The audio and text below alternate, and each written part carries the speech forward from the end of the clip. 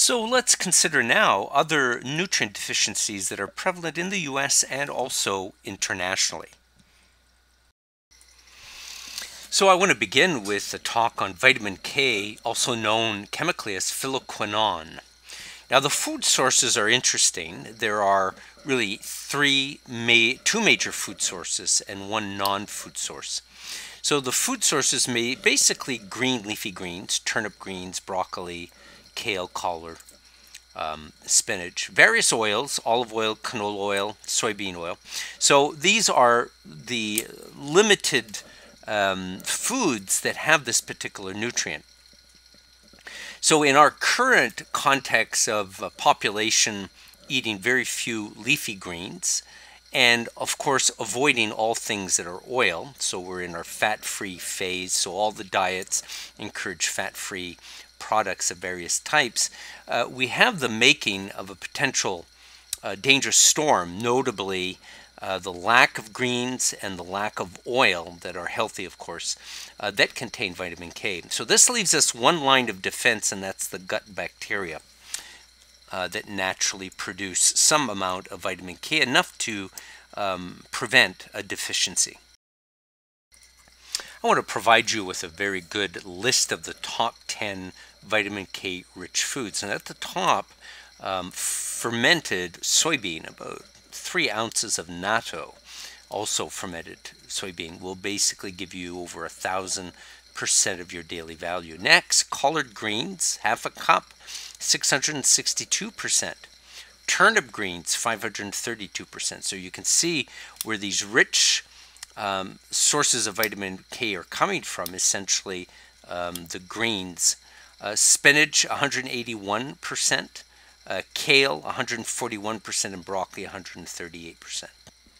We can see a little lower the vegetable oil, one tablespoon, providing 31% uh, of the DV, or 25 micrograms.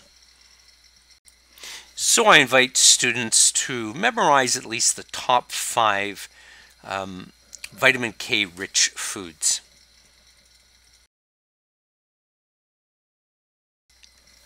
Vitamin K or phylloquinone has two main functions, blood coagulation. So indeed, vitamin K is an, uh, an interesting and significant component in helping the blood uh, coagulate. So in the um, instance, for example, of taking anticoagulant uh, medication, uh, it's important to restrict uh, vitamin K.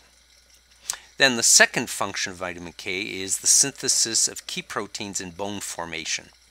So the main sources, plants, and if you remember, dark green are very, um, very important sources. Vegetable oil, such as olive and canola and soy, are very good sources. And then, of course, the intestinal bacteria.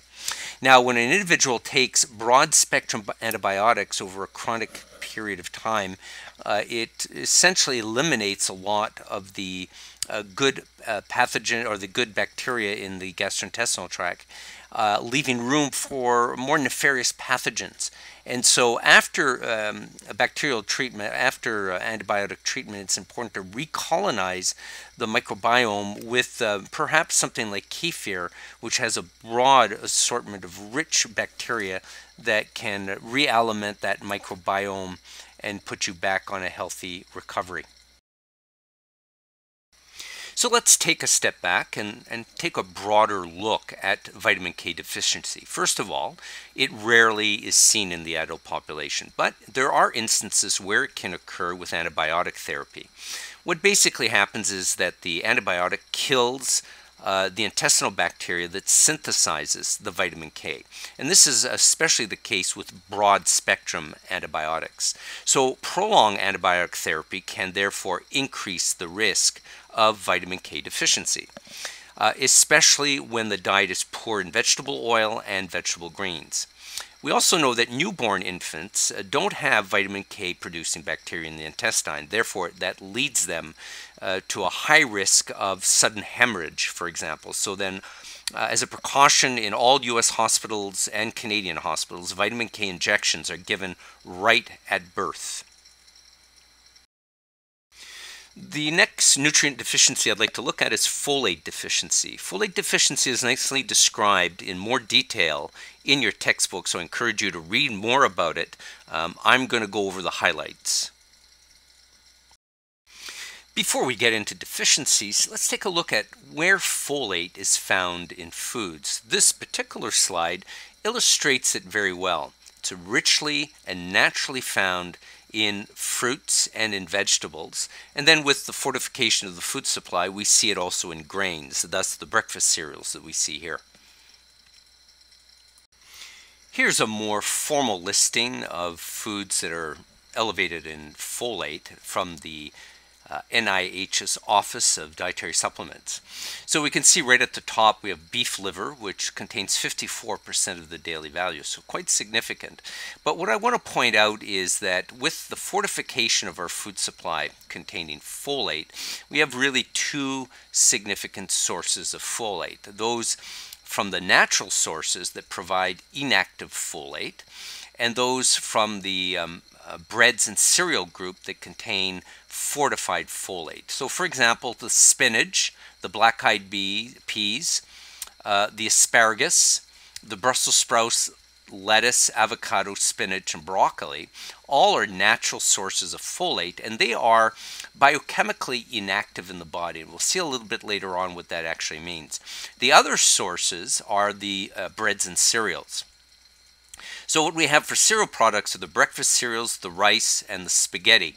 And these contain an active form of uh, folate, which is folic acid, which becomes biologically active in the body, and we'll see what that actually implies later on. For now, it's good to memorize the top five um, foods that are elevated in folate. Now let's take a look at the main deficiencies um, and diseases that are associated with suboptimal intake of folate. First, neural tube defects in newborn, um, megaloblastic anemia, which is really a large red blood cell anemia, and the risk of heart disease. Indeed, when folate levels are suboptimal in the population, uh, it is uh, usually associated with higher risks of heart disease in certain parts of the population. Now, in terms of function, it's directly related to DNA duplication, favoring therefore the replication of red blood cells and digestive cells, so the cells lining the intestine. So when there's a compromised folate status, uh, the ability to actually absorb nutrients gets seriously compromised. We know that in uh, mothers who are yeah, folate deficient, and even um, women of childbearing years who are folate deficient, when they become pregnant, they have a higher percent chance of developing um, uh, fetuses and babies that have neural tube defects. So what we see on this image here are children with uh, spina bifida, which is a neural tube defect in which the spine does not properly close, leaving the child um, oftentimes paraplegic. There was a campaign in the United States to overcome uh, this problem by encouraging women to eat five a day fruit and vegetables. Uh, it was a campaign uh, based on the understanding that the lack of fruit and vegetable consumption in the population, notably uh, the population of women of childbearing years, was actually leading to a higher prevalence of neural tube defects among newborns, uh, much higher than our counterpart in Europe. Uh, so the five a day program was set up with that as an intent, uh, but found um, as a result that fruit and vegetables of good quality didn't actually get increased in the population. In fact, it declined. Uh, so the solution to overcome this problem uh, quite significantly was to fortify the food supply with folic acid, an active form of folate, um, and so consequently we see folate added to breads and cereals uh, and uh, you know all kinds of uh, cereal products like spaghetti and rice and so forth. And this was a public health effort to overcome the problem of uh, neural tube defects that was much higher in prevalence than it should have been. Folate is also important in the prevention of a certain type of anemia. It's called megaloblastic anemia, megalo meaning larger than life red blood cells. um, blastic. So it's an anemia that is very different than the iron deficiency anemia, which is microcytic, small red blood cell. This particular deficiency has large red blood cells, or in other words, megaloblastic. The top cells of this particular graph demonstrate the normal mitotic division of red blood cells. The cell uh, you can see with the DNA in the center uh, progresses in which then there is a mitotic beginning of the um, of the division of the cell which uh, has the DNA migrating to each of the different poles, followed then by um, a subsequent uh, division of the cell producing two smaller uh, red blood cells. Now this is the normal process and what you need to know is that DNA is an intricate part of this DNA division. When we look at the bottom, we're looking at an example of a cell that does not have uh, folate. Consequently, the ability uh, for the DNA to separate and migrate to the different poles doesn't occur. So what we see is the cell growing in size, but not able to undergo a mitotic division to the point where it reaches a megaloblastic form or a larger than life red blood cell which with no ability to divide. So this contrasts with the smaller red blood cells that we see dividing in a normal mitotic division where folate is present. So when a hematologist is looking at the blood smear, he is seeing larger numbers of large red blood cells relative to uh, the smaller red blood cells and concludes that there is First, that it is macrocytosis. Microcytosis just basically means a large red blood cell, and this is important observation because there are many reasons for a large red blood cell. But if the physician concludes that it's related to a folate deficiency, then it goes from macrocytosis to megaloblastosis. So in this reaction, I'm showing you methyl tetrahydrofolate, which is the inactive form of folate found in the vegetables, the broccoli, the different fruits that we eat. And it demonstrates that we need B12 in order to activate um, the folate uh, through demethylation, removing the methyl group and creating a tetrahydrofolate, which is the active form. And it's in this active form that folate then can get involved in DNA duplication.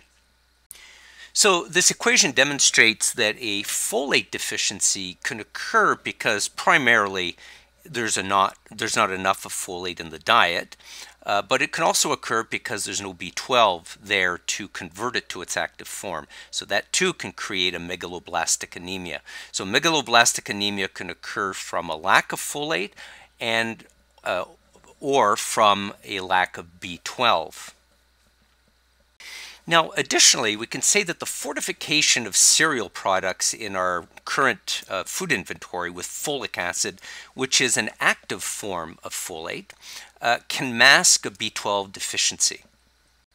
Well, what does this mean? Well, it means that in the presence of folic acid, which is active, B12 is no longer necessary. So this means a physician, therefore, um, looking or depending on megaloblastosis to be able to ask the question, I wonder if this is a folate deficiency or a B12 uh, deficiency, can no longer really ponder that reality because with folic acid supplementation, there's lack of megaloblastosis. Therefore, camouflaging or hiding B12 deficiency, which leads to neurological degeneration or pernicious anemia.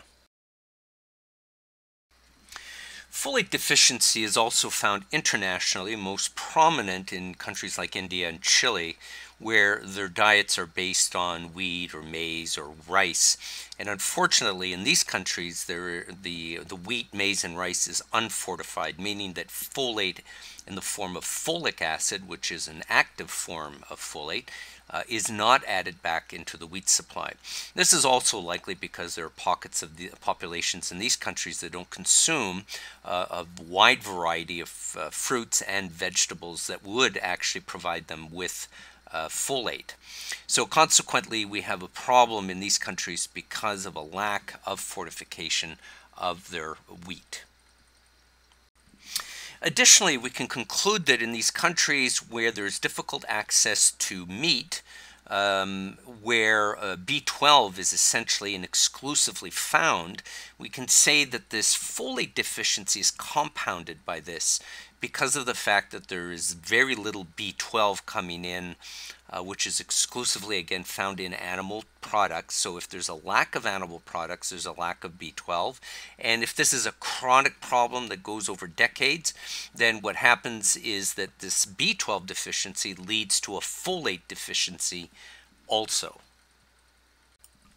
So to make things very clear, the fortification programs around the world use active folate, which is folic acid, which means that it doesn't need B12 to be activated.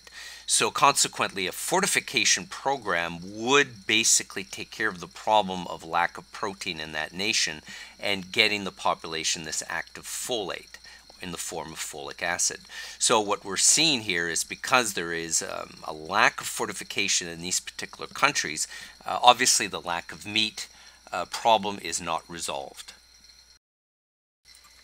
Now I want to explore B vitamin and C uh, deficiencies. Vitamin B12 specifically, thiamine, riboflavin, niacin, and pyridoxine. The very distinct characteristic of vitamin B12, otherwise known as cobalamin, uh, are its food sources. It is essentially a nutrient found uniquely in animal foods, the meats, the dairy, the eggs. Uh, so it becomes a vitamin historically that was at risk uh, in vegetarianism, uh, notably vegans, for example, that don't consume any milk or, or any eggs. Uh, it's not been such a problem as of late because of the fortification of B12 in a lot of soy milks, rice milks, uh, almond milks, for instance. So in this case, in the modern age, we don't really worry about it too much, but historically, it was a problem. I'm providing you now with the top 10 foods that are richest in vitamin B12. You can see at the top uh, the clams, at 1400% of the DV. And then beef liver, very, very elevated, close to 1200% of the DV. Um, then we get down to breakfast cereals, and the breakfast cereals are at 100% of the daily value, and this is because they've been fortified, that is, added back uh, or added to cereals. But you can see otherwise that um, vitamin B12 is found in trout and salmon, uh, tuna, and various meats uh, and various other types of breakfast cereals as well. So again, as in other vitamins and minerals, memorize the top five sources of vitamin B12. Again, I want to reiterate that relationship we saw in previous slides regarding folate, for instance. And again, that intimate relationship between um, inactive folate and its active form thus requiring B12, if you remember, to activate uh, methyl tetrahydrofolate to its active form, uh, tetrahydrofolate. Now, in a diet where there is lack of meat, there is B12 deficiency. There is no B12 there to activate the um, inactive folate, thereby resulting in outright folate deficiencies, notably the large red blood cells, megaloblastic anemia, difficulty in growing, for example, and um, also uh, neural tube defects, if you remember, and difficulty absorbing. So it's all very interrelated. So whenever a diet is low in meats and especially low in vegetables, you know that B12 and folate uh, are going to be compromised. So this relationship, as previously mentioned, um, gives a good example of how it is that in countries like India and Chile that there's a folate deficiency uh, due to the fact that they're not actually fortifying their cereal products in those countries.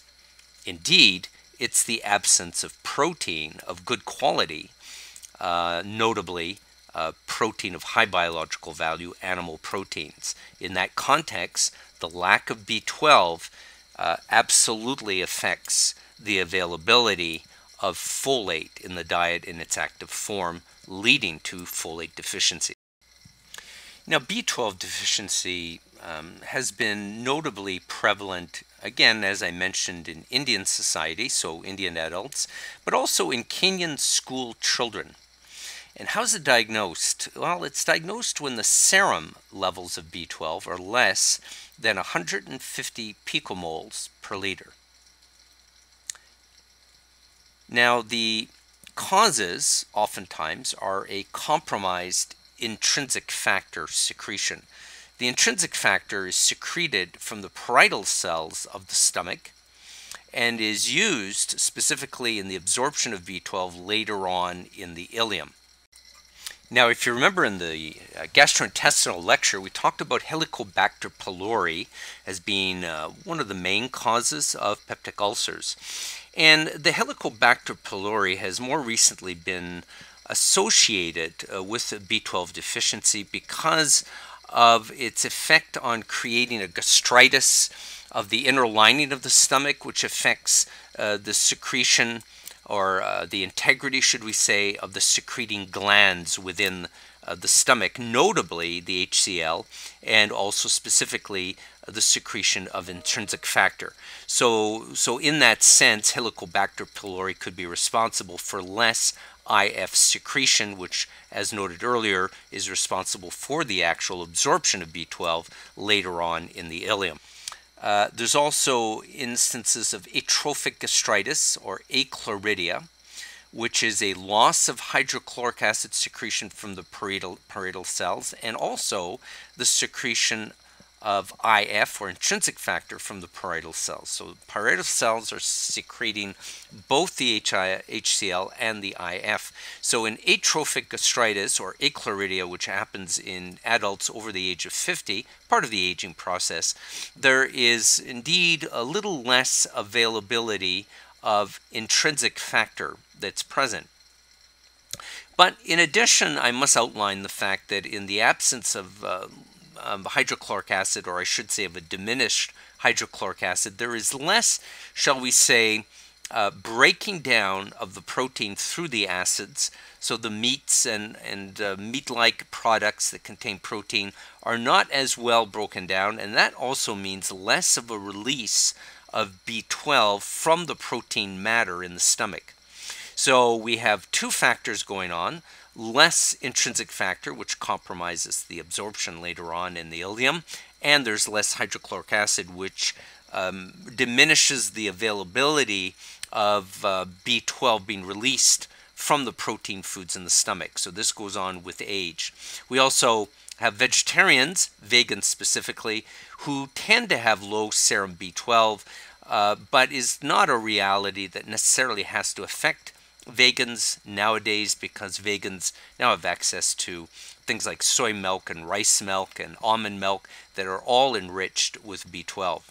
And then, of course, we have gastric bypass surgery, which is the last factor. And gastric bypass surgery really bypasses, in many instances, a lot of the hydrochloric acid uh, parietal cells, in other words, and also bypasses the, um, the parietal cells for the release of intrinsic factor. So in gastric bypass surgery, we see um, a diminished availability of IF and HCl, uh, which then compromises the availability and the absorption of um, B12 later on in the ileum.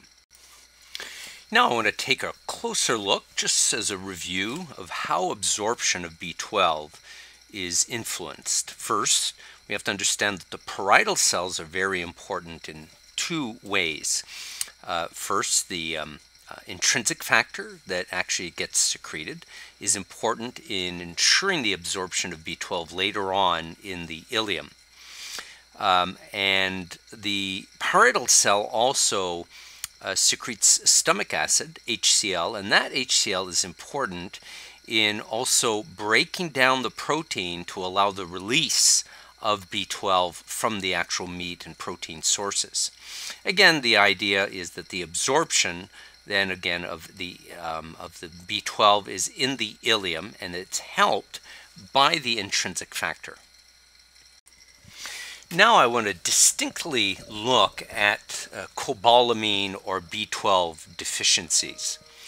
Um, the deficiency of B12, independent of folate, of course, has clear neurological manifestation. There is also a manifestation uh, in the form of anemia, uh, but when it's uh, strictly uh, only a B12 deficiency, uh, we talk about an anemia uh, that is pernicious. Pernicious is another word for nasty. It's an anemia that has clear um, uh, bad repercussions leading to neurological degeneration and eventually death. Now, we also know that because of B12's relationship uh, with folate, that a B12 deficiency can also be uh, megaloblastic anemia as a symptom as well. So, in other words, two types of anemias can come out of a B12 deficiency the neurological um, pernicious anemia, which takes many years, by the way, because of how um, the body recycles uh, B12 in the absorption process through what we call the enterohepatic circulation. So it literally takes 15 years for a true uh, B12 deficiency to take place uh, if there is no um, uh, B12 in the diet. So consequently, this pernicious anemia, this uh, these neurological defects, um, really start to kick in many, many years later after the deficiency has actually started. So the second type of anemia is the megaloblastic anemia, and the megaloblastic anemia is what we uh, see with folate deficiency, which is the large red blood cell. So now the question is, who is susceptible to this?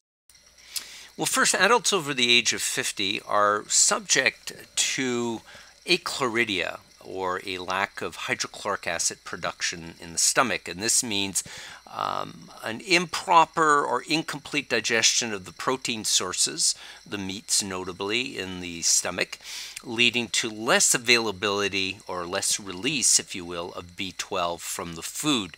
So this can actually lead to a little bit of a problem. Now, in adults also, there's less secretion from the parietal cells of intrinsic factor. So it means of the little B12 that gets released from the food, little is absorbed in the B in the ileum as well.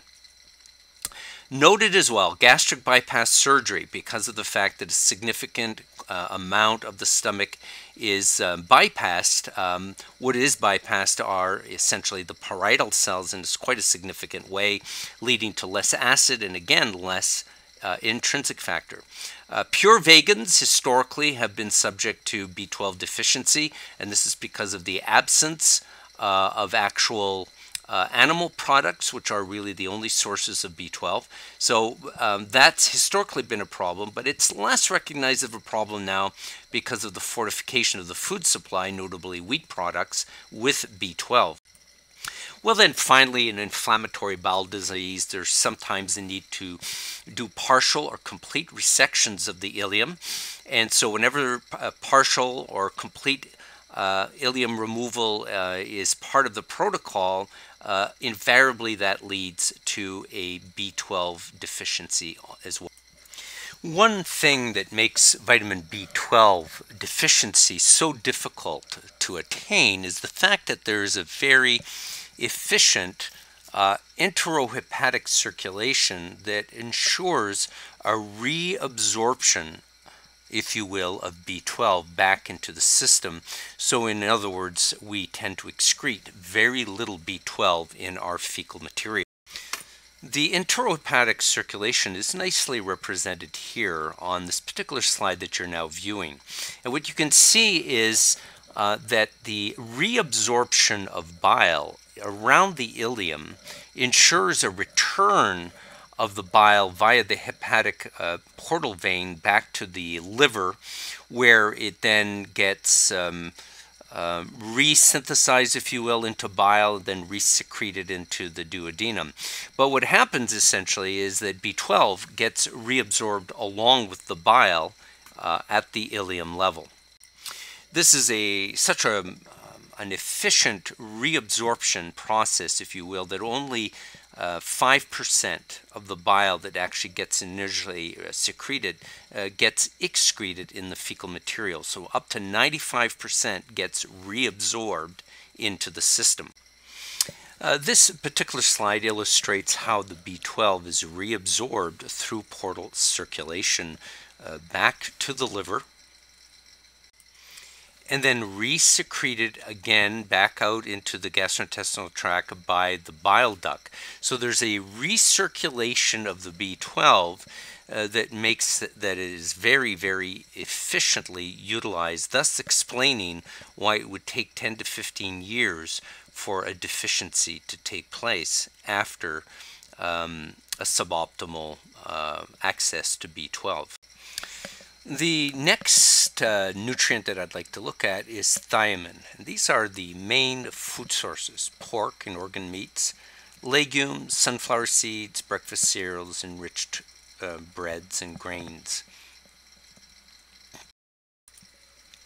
The most recognizable deficiency disease from thiamine is called beriberi. The first clinical description of beriberi was by the Dutch physicians Bontius in 1642 and Nicholas Tulp in 1652. Now, Tulp treated a young Dutchman who was brought back to Holland from the East Indies, suffering from what the natives of the Indies called beriberi or the lameness. Now, the treatment was unsuccessful. Tulp's description of beriberi, however, was very detailed, but he had no clue back then that it was a dietary deficiency. This discovery came more than 200 years later. Tulp's description of the disease beriberi was well documented in his uh, classic book on the observations medica uh, back in the 17th century. Now, the first breakthroughs in the true understanding of beriberi wasn't until the 19th century. Uh, this came with um, the observations in 1880 when Dr. K. Takaki, um, at the time the Director General of the Japanese um, Naval Services, noticed a correlation between the diet of sailors and the actual incidence and prevalence of beriberi. He had observed that when individuals were eating a complete, well-balanced diet, that the incidence of beriberi was very low.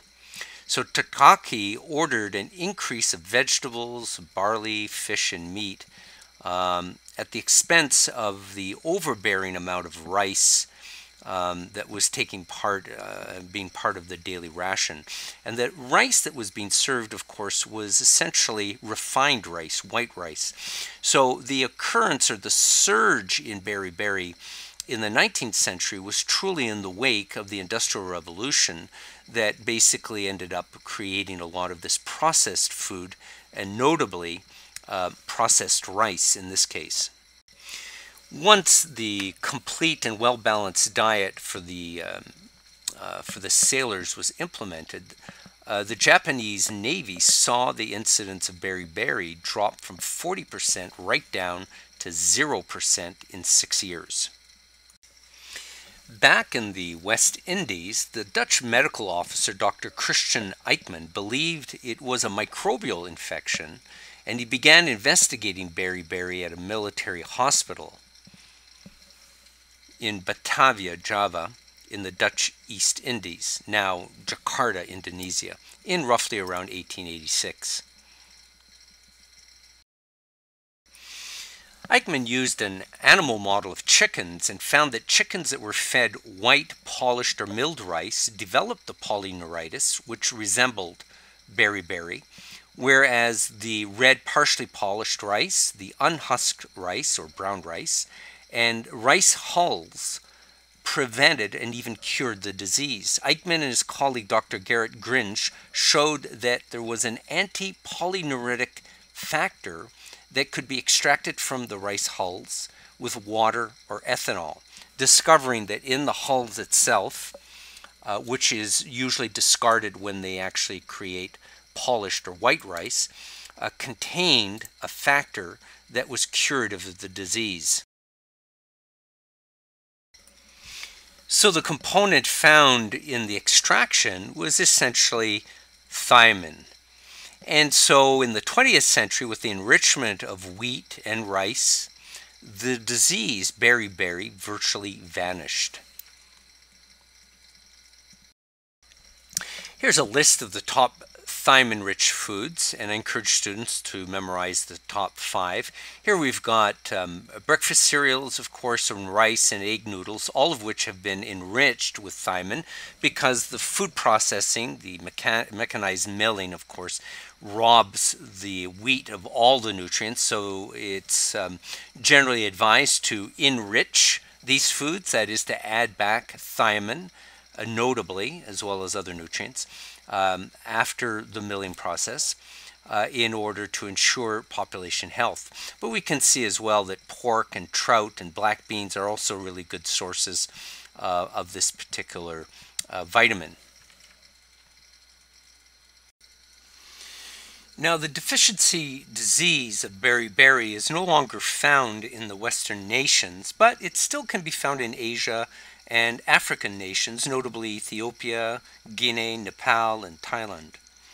Now, the causes of deficiencies can be due to a diet relying too much on processed wheat and rice that isn't enriched.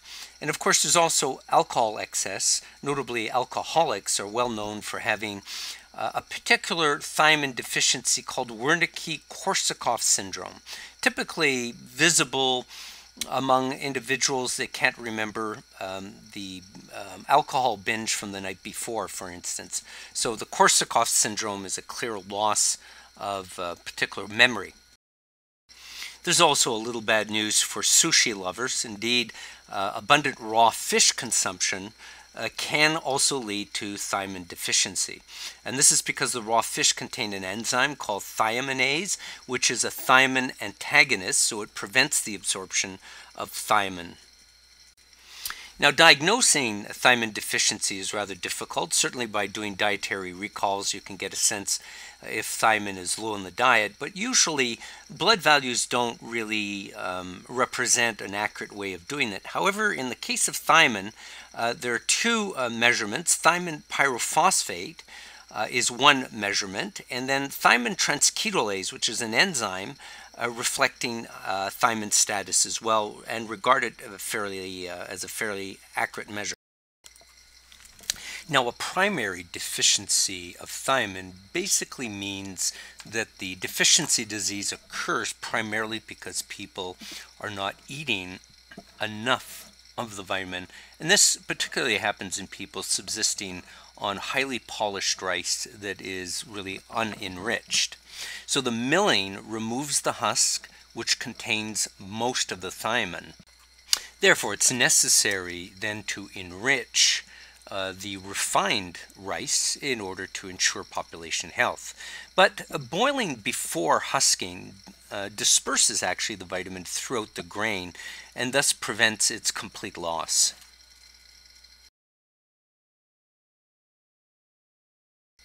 Now, by contrast, a secondary thiamine deficiency is really related to problems of absorption as opposed to problems of intake. So it could be caused by increased requirements, and we see this with hyperthyroidism, we see it with pregnancy and lactation, and even with fever. It can be caused specifically also by impaired absorption, as I mentioned, so prolonged diarrhea, uh, inflammatory bowel disease, for example, will cause uh, difficulties in absorbing uh, this particular vitamin. It could be caused by impaired use, utilization, uh, and this would be seen in liver disease. Uh, it could be um, caused by a combination of decreased intake, impaired absorption, and utilization, and that would still be a secondary thiamine deficiency. Uh, possibly apoenzyme defects occur in alcoholism, for instance, and this would consequently lead to the Wernicke-Korsakoff syndrome. Uh, it could be also caused by frequent long-term or highly concentrated uh, dextrose infusions, and this can cause a problem as well. Although not exactly the same as beriberi, Wernicke-Korsakoff syndrome uh, is also labeled cerebral beriberi. It's seen in alcoholics, but not exclusively. Chronic vomiting, eating disorder, and even among the elderly. So the main symptoms of what we call the Wernicke encephalopathy is a cerebral blood flow that is reduced and a certain vascular resistance heightened or increased. The symptoms consist of nystagmus, total ophthalmoplegia, coma, change in mental functioning, and really, if untreated, leads to death. The main symptoms of the Korsakoff syndrome is mental confusion, loss of recent memory, aphonia, uh, and confabulation.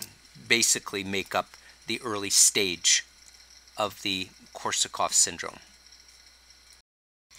Be sure to read uh, your textbook, chapter 8, which contains uh, considerably more detail regarding thiamine and the other vitamins that I'm covering in this section verbally.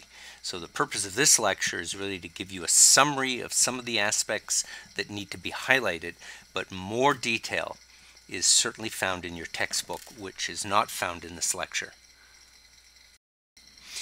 Having reviewed thiamine, which is vitamin B1, now I want to review riboflavin, which is vitamin B2.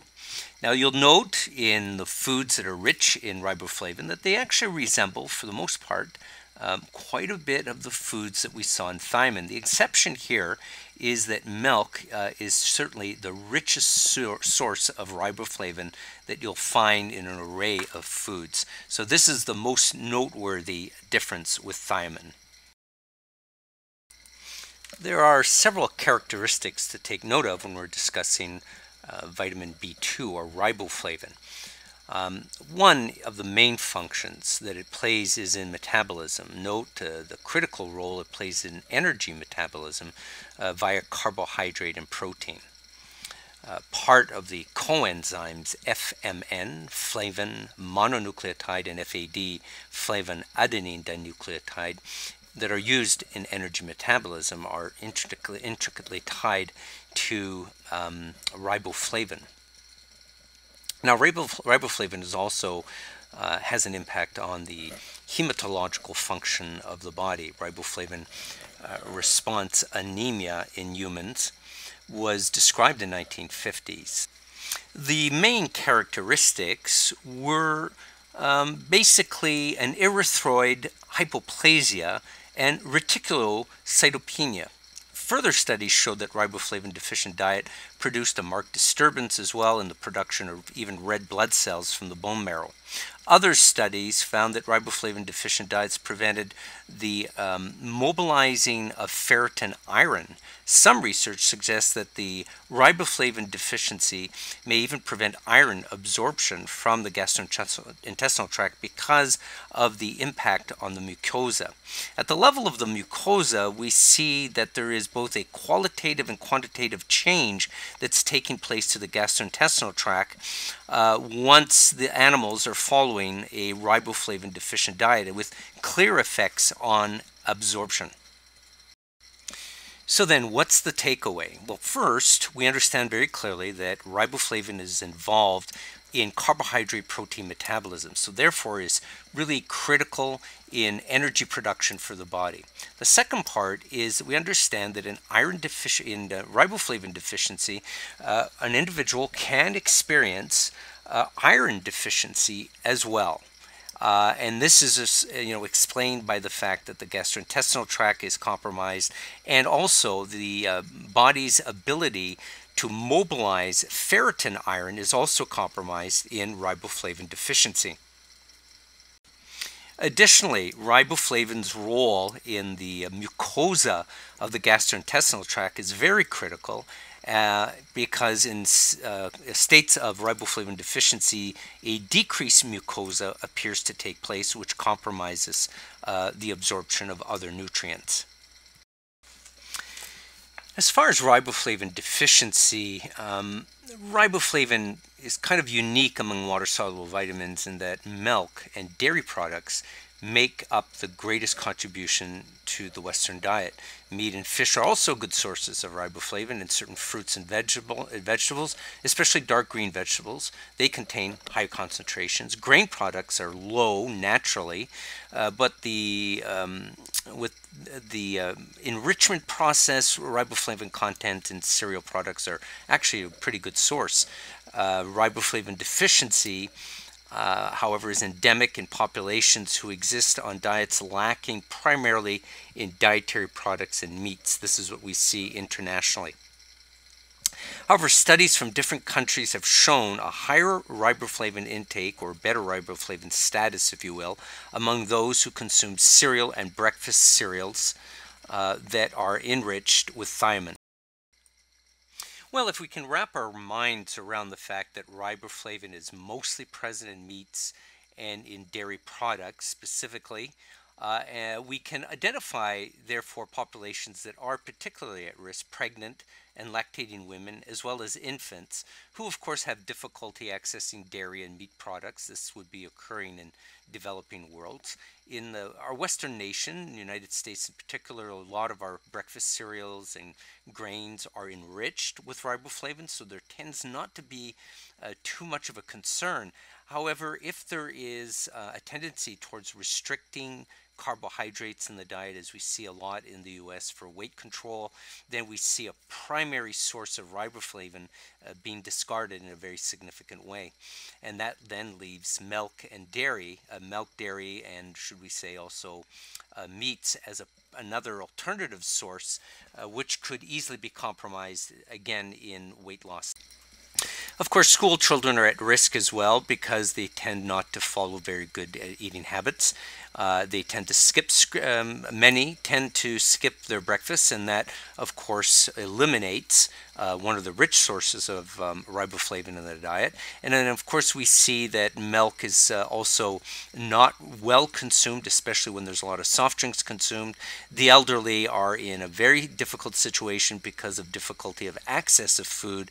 Financial restriction and mobility prevents them accessing good, wholesome food regularly, and that would involve milk and meat. And of course, athletes, because of their strange diets, uh, tend to uh, restrict certain categories of food with um, a false, you know, understanding of uh, probably benefiting uh, at a performance level. Well, objectively, we can say that there is um, some level, some prevalent level of riboflavin deficiency. Large surveys in the United States reported riboflavin deficiency among the elderly to be roughly between 10 to 27 percent on the basis of biochemical and dietary intake criteria, respectively. Uh, estimates of the prevalence of riboflavin deficiency in various European countries ranges between 7 and 20 percent. There are very distinct physical manifestations of um, riboflavin deficiency uh, that is noteworthy. First of all, we can identify the following. Angular stomatitis, cheilosis, glossitis, and microcytic anemia. Angular uh, stomatitis are little red uh, cracks in the corner of the mouth uh, cheilosis is really an edematous um, lips that become cracked and filled with fluid. And glossitis is what we refer to as kind of a red tongue. And microcytic anemia, of course, is the iron deficiency anemia. So small red blood cell anemia. This slide provides you with a good um, physical and hematological representation of what the various deficiency symptoms are for riboflavin deficiency. So here's glossitis. We have a child sticking out their tongue, which is a red, uh, red sort of uh, glossy uh, tongue and on the right, or in the middle, I should say, the cheilosis, which are the edematous lips, so you can see them slightly inflated with water. And you can see on the corners of the mouth the angular stomatitis. Uh, these are recognizable features that usually are attributed to riboflavin deficiency. And then with a um, uh, a blood, uh, you know, a, a, blood smear, you'd be able to see the the really uh, great or significant preponderance of uh, microcytic cells. These are the smaller cells that you see lingering along, and so suggesting a microcytic anemia. Niacin, that is vitamin B3, um, is found in foods that are pretty much similar, similar crossover with thiamine and riboflavin. Notice enriched cereals and breads. Uh, notice as well tuna, pork, and chicken. And what we find um, also is baked potato mushrooms that are a little different uh, and a little particular for niacin. Niacin functions at different levels, but quite significantly at the biochemical level as a coenzyme in fat, carbohydrate, and protein metabolism. So if you thought that riboflavin was quite involved in metabolism, be surprised now to see to what extent niacin is so widely used. It's most prevalent in the TCA cycle and the electron transport chain. It's identified as NAD, nicotinamide adenine dinucleotide, and also as NADP, nicotinamide adenine dinucleotide phosphate. Niacin is used at a pretty large dose, 60 milligrams, uh, as a treatment of hypercholesterolemia. In fact, it's an alternative to using a statin. It's used um, um, cautiously because there's basically some side effects such as red flushing of the face and a lot of patients sometimes don't feel very comfortable with that but it appears that other than the flushing there are no adverse effects to using uh, niacin at such a high dose as 60 milligrams per day. It's also important to be clear that using 60 milligrams per day of niacin is not really using niacin as a true vitamin but usually using it as a pharmaceutical treatment. So it takes on a more of a pharmaceutical characteristic at that high concentration. Niacin deficiency is uh, commonly recognized as uh, the term pellagra. Prevalent in the U.S. South during the 1900s, it was caused by a low protein corn diet um, and suboptimal niacin and tryptophan intake. Now, what's interesting is tryptophan, of course, is an amino acid. It's one of the essential amino acids, and it is um, lacking in the diet of a poor protein intake. So wherever there's a protein deficiency, there's likely also a tryptophan um, suboptimal intake, and this is what was taking place in the American South. So they had um, a diet that was relying on uh, a refined uh, maize that had literally no niacin, and also in an impoverished protein diet that was uh, deficient in tryptophan. And what's important here is that the tryptophan actually gets converted to niacin. It's the only amino acid known to become an actual vitamin.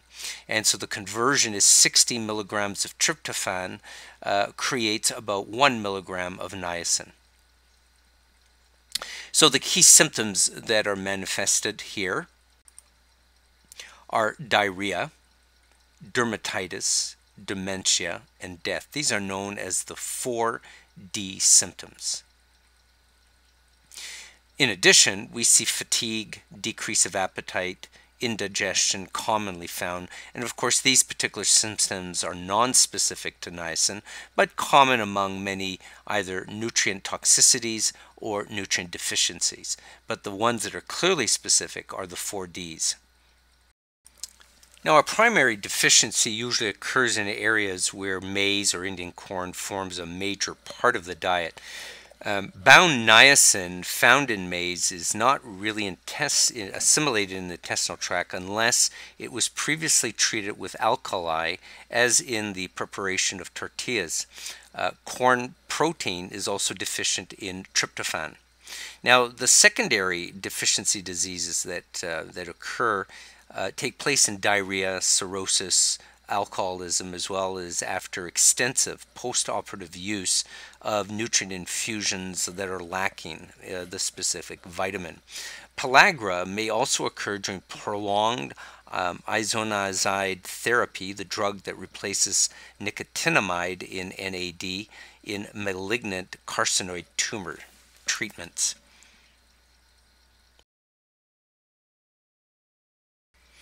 A brief review of the history of pellagra will provide you with ins some insight with uh, with respect to how a vitamin deficiency came to become so prevalent. The year was 1914, and Dr. Joseph Goldberger was sent to the American South to find a cure for the pellagra, which time appeared to be an infectious disease. However, Goldberger observed hospitals, asylums, and orphanage employees throughout Georgia, South Carolina, and other southern states, and he observed that never was the disease contracted by the employees. He concluded um, that, in fact, it was not an infectious disease because, indeed, the employees, or at least some of them, should have contracted it if it was. He concluded that diet was linked to pellagra. This was actually uh, quite an innovative thought for the earliest, early part of the 20th century. He wrote in the September 1914, no pellagra developed in those who consumed a mixed well balanced diet. Carefully controlled dietary studies in orphanages confirmed this theory, and in a classic experiment in a convict camp in Mississippi, Goldberger produced the disease experimentally by diet, then provided the uh, wholesome diet, which actually healed the disease. Well, after having chemists and nutritionists analyze the food, the experiments undertaken by Goldberger help identify the pellagra preventative factor in 1926 as actually being part of the B group of vitamins. In October 1928, Goldberger gave his last public address on pellagra at the American Dietetic Association conference. He died the following January. Nine years later, in 1937, a researcher at the University of Wisconsin identified nicotinic acid as the curative factor for pellagra. Illustrated on this slide are some of the physical characteristics that are very much associated with pellagra. Well, first of all, we see the dermatitis, uh, and we also see something that we commonly see in uh, riboflavin deficiency, which is cheilosis. Then we see glossitis, and we also see again angular stomatitis. So these are actually very common because when there is one particular B vitamin deficiency, we tend to see, of course, because of the impoverished diet, other B vitamin deficiencies.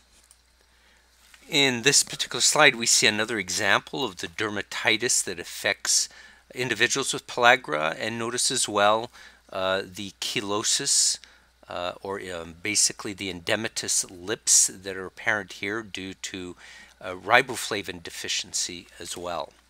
So it's very common to actually see both riboflavin and niacin. Why is that? Well, because riboflavin deficiency also shows up, if you remember, in a protein poor and dairy poor environment.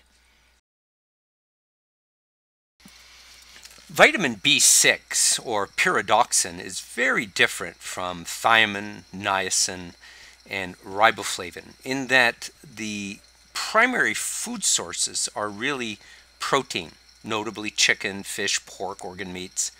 Uh, we find some whole grain products, and brown rice are a good source of it uh, soybeans, sunflower seeds, and we see also banana, broccoli, and spinach. So it's widespread a little bit throughout the food supply, but we recognize B6 as primarily rich among protein foods.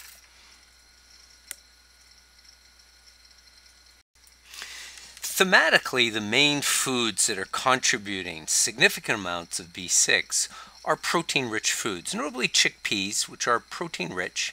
Then we see beef liver and tuna and salmon and chicken. Uh, and then just jumping over breakfast cereals, we see um, also turkey, uh, marinara sauce in um, spaghetti. Uh, so we see also some um, uh, content in bananas as well. So it's not strictly protein, but we can say that the most abundant amounts of vitamin B6 are certainly found among protein foods. Again, I'd like to remind students to memorize the top five foods that are the richest in vitamin B6. Vitamin B6 is found essentially in three major forms. First, pyridoxine as an alcohol, pyridoxal as an aldehyde, and pyridoxamine, which contains the amino group. These are the three forms in which uh, pyridoxine will appear in the biological system. Now, vitamin B6 is greatly involved in protein metabolism. It's not surprising that in our food supply, it's also found primarily in protein as well. Vitamin B6 acts, in fact, as a coenzyme to perform mostly in protein metabolism. Interestingly, the role of B6 in cognitive development is uh, somewhat questionable. It does play certainly a role in the development or the biosynthesis of neurotransmitters like serotonin, nor, norepinephrine, and, and epinephrine. Uh, but there's no evidence of um, improved cognition with specific supplements of B6 in individuals that have low serum B6 levels. So this is kind of questionable as a therapeutic modality specifically. Now, the role of vitamin B6 in hemoglobin formation certainly has a biochemical base. We know that B6 acts as a cofactor in the synthesis of gamma aminolevulinic acid, or ALA, a first step in the synthesis of hemoglobin. And there are documented cases in youth of a sideroblastic microcytic anemia occurring due to the poor synthesis of hemoglobin in B6 deficiency. Vitamin B6 in cardiovascular disease is also um, basically supported with the understanding that whenever there's a folic acid, B12, and vitamin B6 combination, there is an ability to lower serum homocysteine levels, which, when elevated, um, increase the risk of cardiovascular disease, and when lowered, um, decreases the risk of cardiovascular disease. Uh, the role of B6 in immune function is at the moment not that convincing, especially when looking at um, the impact of B6 supplementation.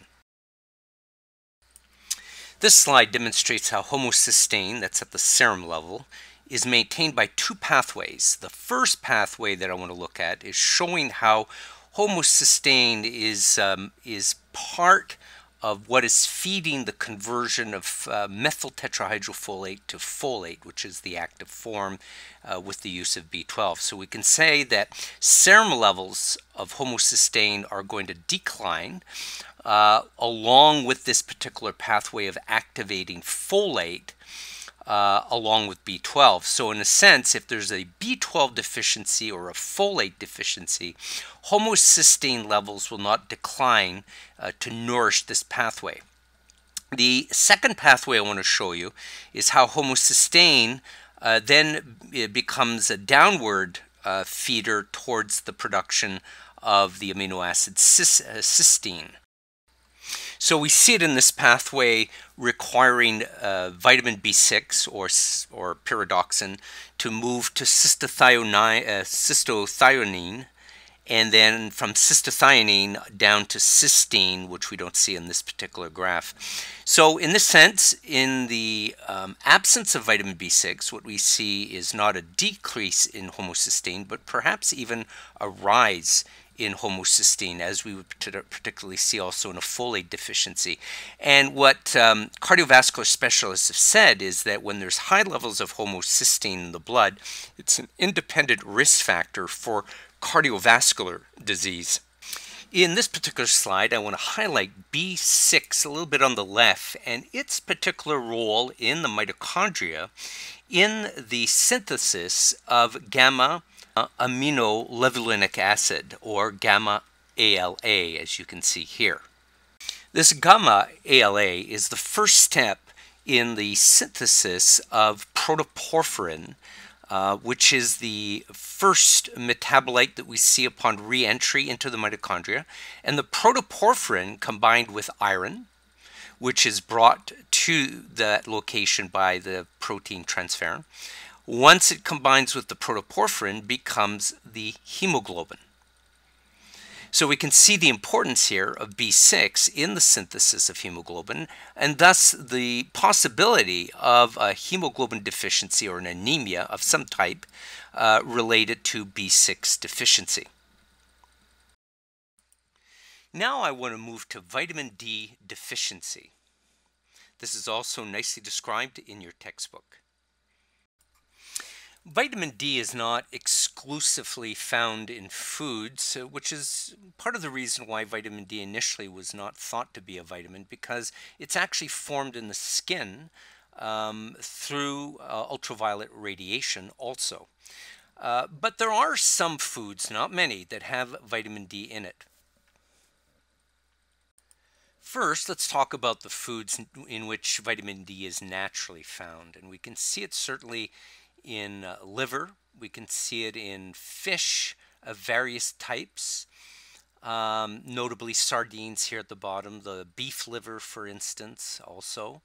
Uh, cod liver oil at the top is the most concentrated form um, of, um, of, vitamin D. We have swordfish as well. And then we've got the fortified sources, which is um, uh, basically foods that don't naturally contain it, but that have been fortified with it as a form of public health. So we have milk that has vitamin D added back into it. We call it fortification. Orange juice with vitamin D. We have margarine uh, and butter, for example, with uh, vitamin D in it as well. So when there's not enough vitamin D coming from the sun, and that this lack of sun is not compensated by vitamin D coming into the diet, it affects children in a very specific way, affecting the um, the growth of the the growth plates of the children at the level of the bones. And so we see in this particular example uh, rickets manifested with an outward bowing or an inward bowing of the legs. And this is because the bones have lost um, their um, matrix, their consolidated calcium um, matrix uh, that uh, maintains the solidity.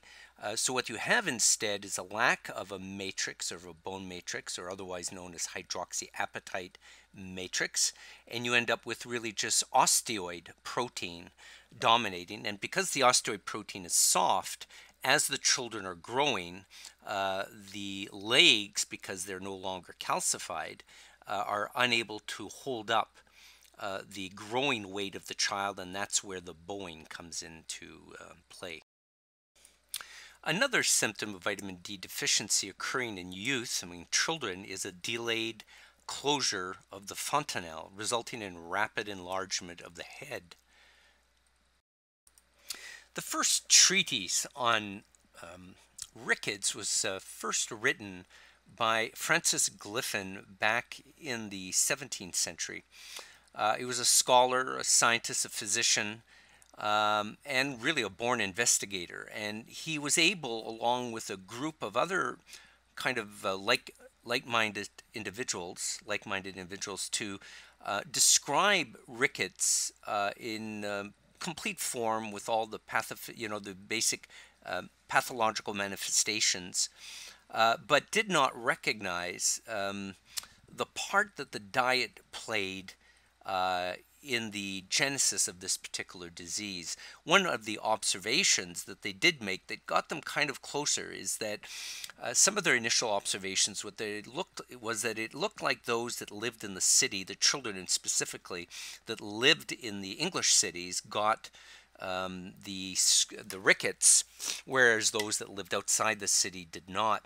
And so they were they were coming to the conclusion that city living in general um, harbored the danger of uh, developing rickets. But this proved to be incorrect because those of the committee, of course, that traveled to the south noticed that uh, in southern cities, uh, in other countries notably, uh, there was no evidence of rickets down there, even though the kids lived in the cities. So that kind of excluded the idea, but they were getting close to the understanding that access to sunshine was very important. Of course, in the English um, uh, in the English temperate zone uh, with all the rain and the fog, and especially during the winter period. So it's cold. Uh, there's very little sun. Uh, that was the um, the ideal setting, obviously, for the development of rickets in the English cities. Now, in chapter 22 of his treatise on rickets, Glisson gave a clear description of infantile scurvy and showed that, though it often accompanied rickets, that it was actually separate, uh, a separate disease entirely. It wasn't until 1918 that Edward Mellanby, experimenting with dogs, showed that diet was the determining factor and that cod liver oil could actually prevent the disease from occurring. Now, this research uh, looking at the dietary remedy was going on uh, at the same time as other researchers were looking at the role of uh, sunlight um, in the actual healing and prevention of uh, rickets as well so then the, the, the research on rickets was really coming from two perspectives. One was the dietary and one was looking at the role of sunlight. And they are indeed two separate mechanisms for the prevention of rickets. Now, the lack of vitamin D does not only affect children. It does affect children in a very distinct way because their bones are in a period of growth. So we get a more distinct perception of course, with the bowing of the legs. But in adults, we have a disease that's called osteomalacia. And these are, occurring in bones that have already been formed, but in which the vitamin D deficiency occurs later on. So we end up with soft bone and bone pain. And this pain is occurring because of impaired phosphorus and calcium absorption due to poor vitamin D. I want to take a close-up of um, the table uh, on this particular slide. I want to draw your attention to the uh, causes of vitamin D deficiency, looking specifically at the top to the decreased synthesis of the precursor of vitamin D, which is 7 dehydrocholesterol, which is synthesized under the skin through the interaction of the ultraviolet light on the skin. And then what we see is 7 dehydrocholesterol moving to uh, 25 hydroxycholesterol uh, in the liver. And then we see it down below activated to 125 dihydroxy vitamin D, uh, actually in the kidney. Uh, and this is what we call um, uh, cal um, calcitriol. So 125 dihydroxy vitamin D is the active form, and this is called calcitriol, and it's actually synthesized in the kidney. So in kidney disease, consequently, we will see a tendency towards vitamin D deficiency because the active form that's used as a hormone basically in the blood uh, is not activated. Now, again, in liver disease, uh, we see a decrease in the synthesis of the um, 25 hydroxy vitamin D. This is not the active form, but it's a precursor to it. And so, if there's no 25 hydroxy vitamin D, then the 125 hydroxy will not be formed as well. So, liver disease uh, consequently compromises this whole um, synthesis. Finally, in malabsorption syndrome, difficulty absorbing nutrients, notably fat um, soluble uh, vitamins like vitamin D, will obviously also lead to a potential uh, deficiency. And finally, let's not forget that a lack of vitamin D intake dietarily uh, can also lead to a deficiency state as well. Now, coming back to uh, osteomalacia, we can see also not only in vitamin D deficiency, but in phosphate deficiency resulting from increased excretion or less absorption uh, will lead to a softening of the bone. This will also be caused by um, a decrease in reabsorption of phosphate. Um, this will occur this reabsorption occurs normally in the renal tubules, and if there's some reason why this reabsorption isn't taking place, uh, then uh, that would also lead to a deficiency. So, as a recap and as a point of uh, precision, osteomalacia uh, is very distinct from uh, rickets because it's really attributed to older adults whose bones are already formed. So what takes place here in the adult is there's a loss of phosphate and calcium from the bone. This takes place usually because of uh, poor intake, maybe poor absorption. And then there's also a softening of the bone, which leads, rather than um, to a curvature like in children, it leads to uh, pseudo fractures of the femur, clavicle, scapula, and it's associated with uh, very uncomfortable bone pain. Now, having said that, there are uh, medical examples of where osteomalacia also is represented with a curvature of the bone. This is actually a, a very um, example of a very chronic problem of uh, poor uh, calcium phosphate intake, excessive, excessive loss, and may be tied also to uh, various types of cancers where the absorption uh, or the excretion rather of calcium and phosphate is excessive. So then we end up with very soft bones, much like the children. Uh, so this is a ricket uh, ricket-like manifestation that's seen in adults, and this is due to the actual preponderance of osteoid protein, that's the bone, uh, bone protein of the matrix, but there is no mineralization that takes place. So it's a very similar pathophysiology to children, but this is quite exceptional. Uh, as a representation for osteomalacia that progresses to a rickets like representation. So now to help you wrap your minds around how this actually occurs biochemically and endocrinologically, uh, we're going to look at the mechanism of vitamin D metabolism. So I'm going to try to bring you through the different steps here, but the first thing I want you to look at is right in the center. Um, and this is the um, extracellular stability of calcium. And this extracellular stability of calcium is maintained from three perspectives. One, from the calcium coming from the gastrointestinal tract. You could see the arrow going from the um, ileum jejunum uh, right into the extracellular fluid. And you can see also the calcium uh, to be maintained adequately and in homeostatic uh, style is coming from the breakdown of calcium from the bone. And then we also see that there's a calcium coming from the reabsorption from the kidneys that we see down below. Right? Through increased excretion or diminished excretion from the kidney, and then increased absorption or decreased absorption from the gastrointestinal tract, and then decreased um, resorption is what we call the term when it comes down from the bone, right? So a resorption of the bone is a breakdown of the calcium of the bone. So there are three ways in which um, the there's a homeostasis that's maintained uh, in the actual extracellular fluid, which is really our blood. So now what we see here with the red arrow going up in the extracellular fluid. We're showing if calcium levels are going up in the blood, then we see that the uh, thyroid um, is being uh, specifically targeted. And notably, the parathyroid hormone, then, which normally gets secreted in order to break down bone, is actually inhibited you can see here with the big X on the bone. So there is less calcium then being broken down uh, from the bone.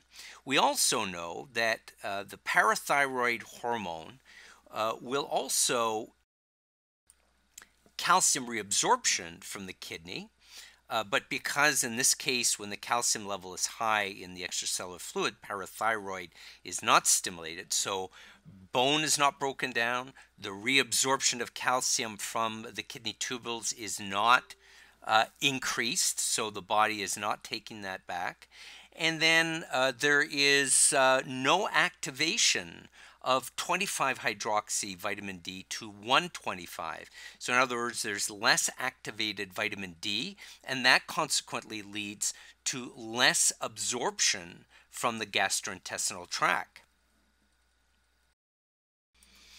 Now, in a situation where plasma calcium is low, and this would be happening for a variety of reasons, but notably we could talk about poor intake, um, then there would be uh, an increase stimulation. As you can see, low serum calcium leads to an increase in parathyroid hormone. Now, the parathyroid hormone will stimulate calcium reabsorption from the tubules. Then um, the parathyroid hormone will also increase uh, kidney synthesis of vitamin D, that's 125 dihydroxyvitamin D or calcitriol, and that will increase intestinal absorption. And then we know also that uh, this is facilitated um, also uh, with the breakdown, right, of uh, calcium from the bones uh, through the action of parathyroid and vitamin D. So both of those together cause what we call a bone resorption or a breakdown of calcium. And all this will come to help regulate the lowering of the blood calcium, which, by the way, physiologically really just takes place a little bit at a time because the body cannot tolerate hypocalcemia for a very long period of time. So these corrections take place very quickly to bring the blood back to a homeostatic state. All right, then, now let's review the new concepts. The first concept I'm introducing to you is bone resorption. So if there's high parathyroid hormone, and if that level persists, uh, it impairs bone mineralization. In other words, the parathyroid hormone causes a breakdown or a resorption of bone, leading to osteomalacia, soft bone, and bone pain. Bone weakness tends to lead to fractures more easily, and this is how we sort of explained, um, you know, osteomalacia being very distinct uh, from rickets. Now, we also know the new concept here is that there's kidney reabsorption. And so we talk about reabsorption, we're talking about calcium that is being excreted into the kidney tubules but being reabsorbed by the kidney tubules whenever there is low intracellular calcium. So the body tries to recruit recoup what it is losing in the urine in order to restabilize um, the um, the serum calcium. Or, now, the um, intestinal absorption is what's facilitated by vitamin D, you know, or in other words, the active form, which we call calcitriol. So this absorption is through the gastrointestinal tract, whereas reabsorption is from the kidney tubules, and resorption is, you know, taking place from the breakdown of the actual uh, bone calcium.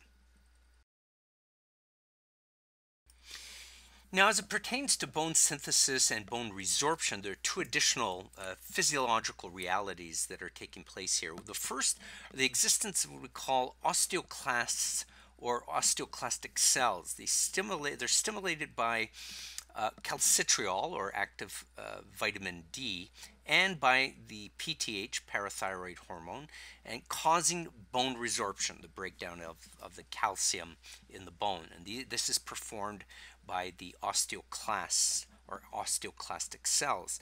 Now there are also osteoblasts, and this is more um, related to the stimulation um, of the synthesis of bone, and this is done through the effect of the hormone calcitonin, uh, which uh, favors osteoblastic cells to start building bone. So osteoblastic cells work when parathyroid hormone is not stimulated, and osteoclastic cells are active when parathyroid hormone is activated. The reality, though, is that calcitonin actually blocks osteoclastic cells specifically that prevent the breakdown of bone, thereby favoring uh, the osteoblasts to stimulate bone synthesis. By the 1920s, cod liver oil had been used regularly in the schools as a means of preventing rickets from occurring. Uh, certainly by the 1930s, it had been eradicated thanks to the public health effort of fortifying milk. It was so successful that by the 1960s, um, rickets had been completely eradicated from the U.S. Uh, landscape. So, milk fortification was essentially the most successful public health endeavor in U.S. history. Now, having eradicated rickets does not necessarily mean that vitamin D deficiency specifically is gone. In fact, uh, uh, deficiency in the US is still prominent among the elderly, um, or if not prominent, it's still visible among the elderly. Uh, because of reduced skin synthesis, there's less exposure to sunlight. Some of the elderly tend to be more enclosed. There's also reduced milk intake, and there's also renal disease that is more prominent. And you remember that 25 hydroxy vitamin D, the inactive form of vitamin D, uh, which is synthesized in the liver, gets uh, activated in the kidney. So if the kidney is diseased, so then the status of vitamin D gets compromised as well. And the causes of this uh, vitamin D deficiency, again, is tied to poor diet, uh, lack of sunlight, and kidney disease.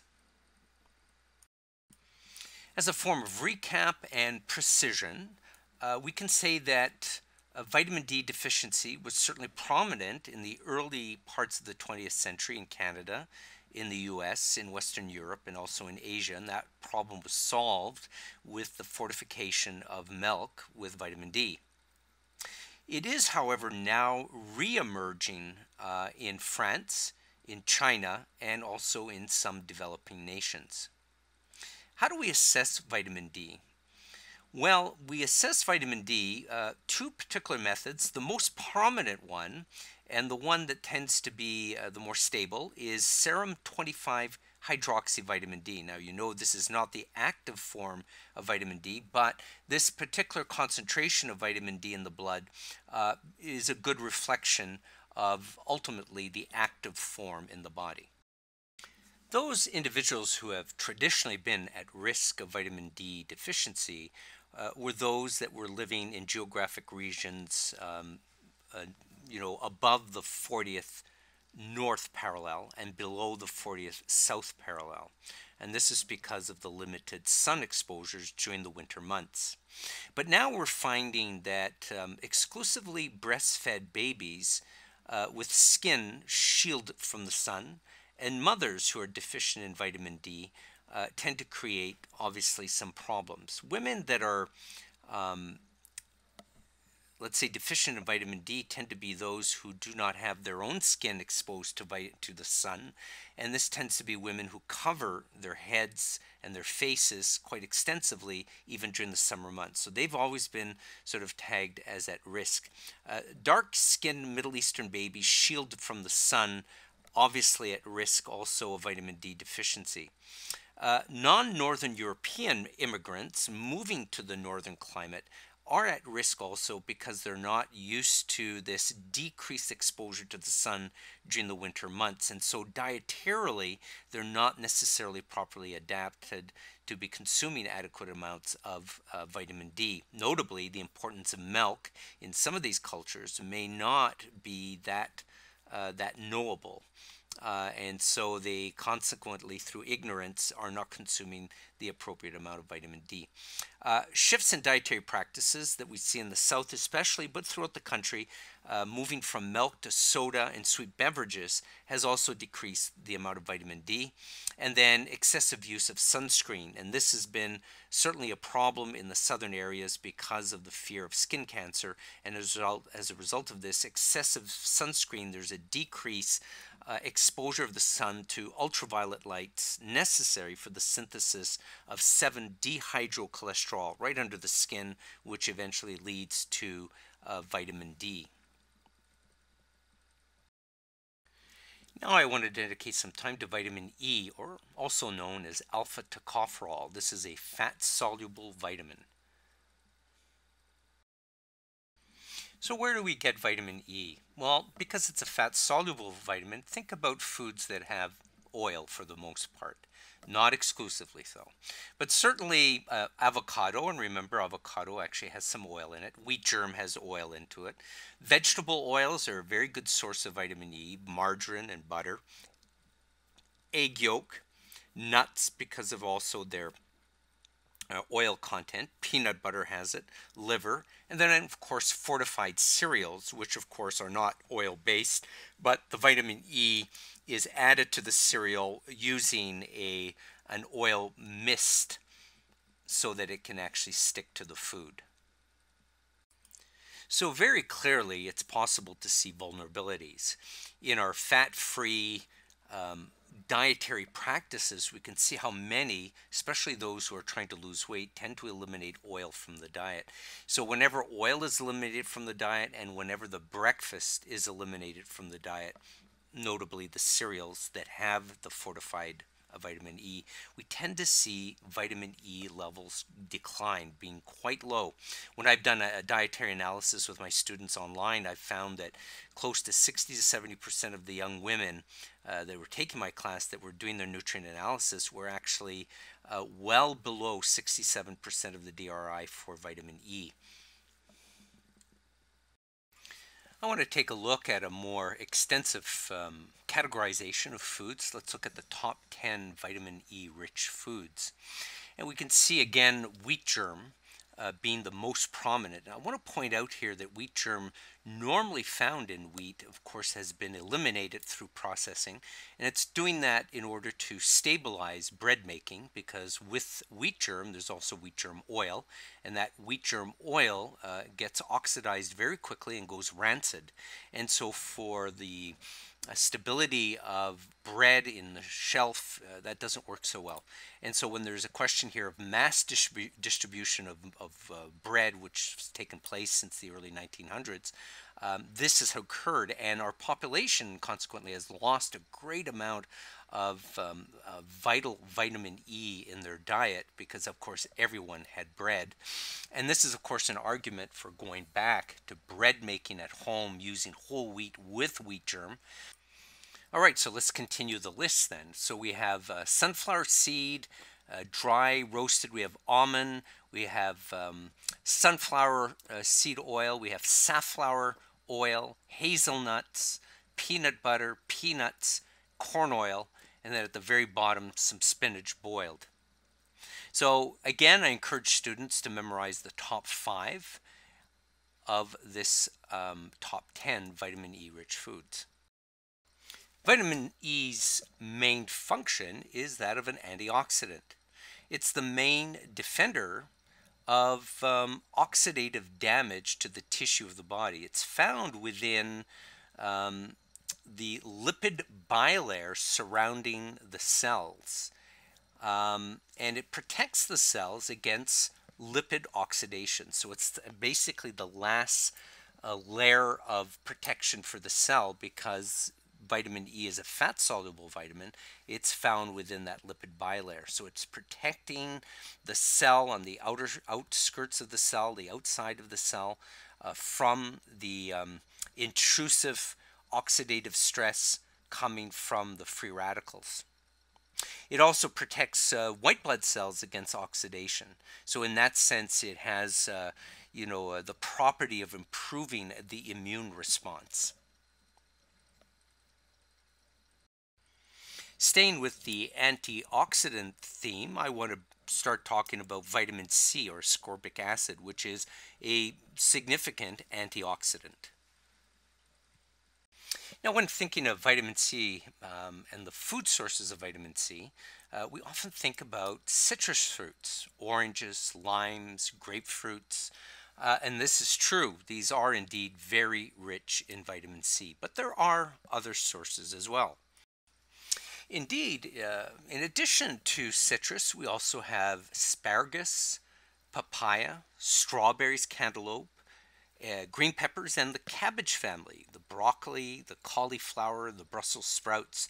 And so, in that sense, even the northern regions, such as in Minnesota, uh, we have you know cauliflower, broccoli, and Brussels sprouts. And while they don't resound as loudly as the citrus fruits, uh, they are still good sources of vitamin C, and this is how the northern regions prevented uh, scurvy. So as we look at this list, uh, the viewer will probably be quite surprised to see that red pepper, sweet raw, half a cup, has um, the most significant amount of vitamin C. Now next, we've got a quarter cup of orange juice, Uh, we've got three quarters of a cup of grapefruit juice, a medium orange, kiwi, but we also have a little further down green peppers and notice the broccoli, strawberry, the Brussels sprouts. And so we have a mixture here of cabbage foods and vegetables and fruits, uh, which are contributing significant amounts of vitamin C. Now, vitamin C is very interesting to look at because it's been extensively studied, and you can see the drastic um, comparisons between the requirements, the RDAs, for men 90 milligrams per day, for women 75, and if you're a smoker, uh, then you add 35 milligrams onto that. But when examining the toxicity levels, you can see that the upper level for adults is 2,000 milligrams per day.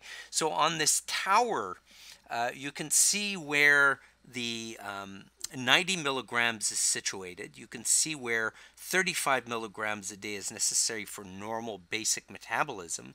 And then all the way at the top is what we consider um, the, um, the beginnings of the toxic uh, level intake, so anything above that 2000 milligrams. So there is room to take in excessive amounts of this particular vitamin without creating any particular harm. And again, it's a water soluble vitamin, so it gets excreted in the urine. Now, there's some debate if taking excessive amounts of vitamin C above uh, the tissue saturation level uh, has any benefit. Because as you can see in this particular graph, tissue ascorbic acid concentrations increase linearly for uh, right up until about 100 milligrams per day. And then afterwards, it sort of stabilizes. Uh, and the question then is once the tissues are saturated, what happens to the vitamin C? Well, the vitamin C is actually excreted in the urine. So if it's being excreted in the urine, clearly the biochemists tell us that there's no additional protection uh, given by ascorbic acid if you exceed literally a, hundred milligrams per day. Um, so taking megadoses of a gram or a thousand milligrams up to 2,000 uh, milligrams ends up only resulting in very expensive urine with no physiological benefits to be seen with this kind of megadosing. Now, the function of ascorbic acid could be seen in four very distinct activities. First of all, collagen synthesis in the muscles. So, the collagen is very important uh, in the formation of um, basically connective tissue. And then we have it playing a role as a neurotransmitter, um, such as in the synthesis of neurotransmitters, norepinephrine and serotonin. And we also have it playing a role as an antioxidant. Um, and at high concentrations, it would appear when we're megadosing above 2,000 milligrams per day that we're probably using vitamin C as a pro-oxidant. Uh, and um, also we know that it um, uh, it activates the oxidizing elements like iron and copper. Uh, and so that's, you know, part of its pro-oxidant effect that we suspect is taking place. And then we know that also that it supports the immune system. So a lack of collagen causes the walls of the body's blood capillaries to break down.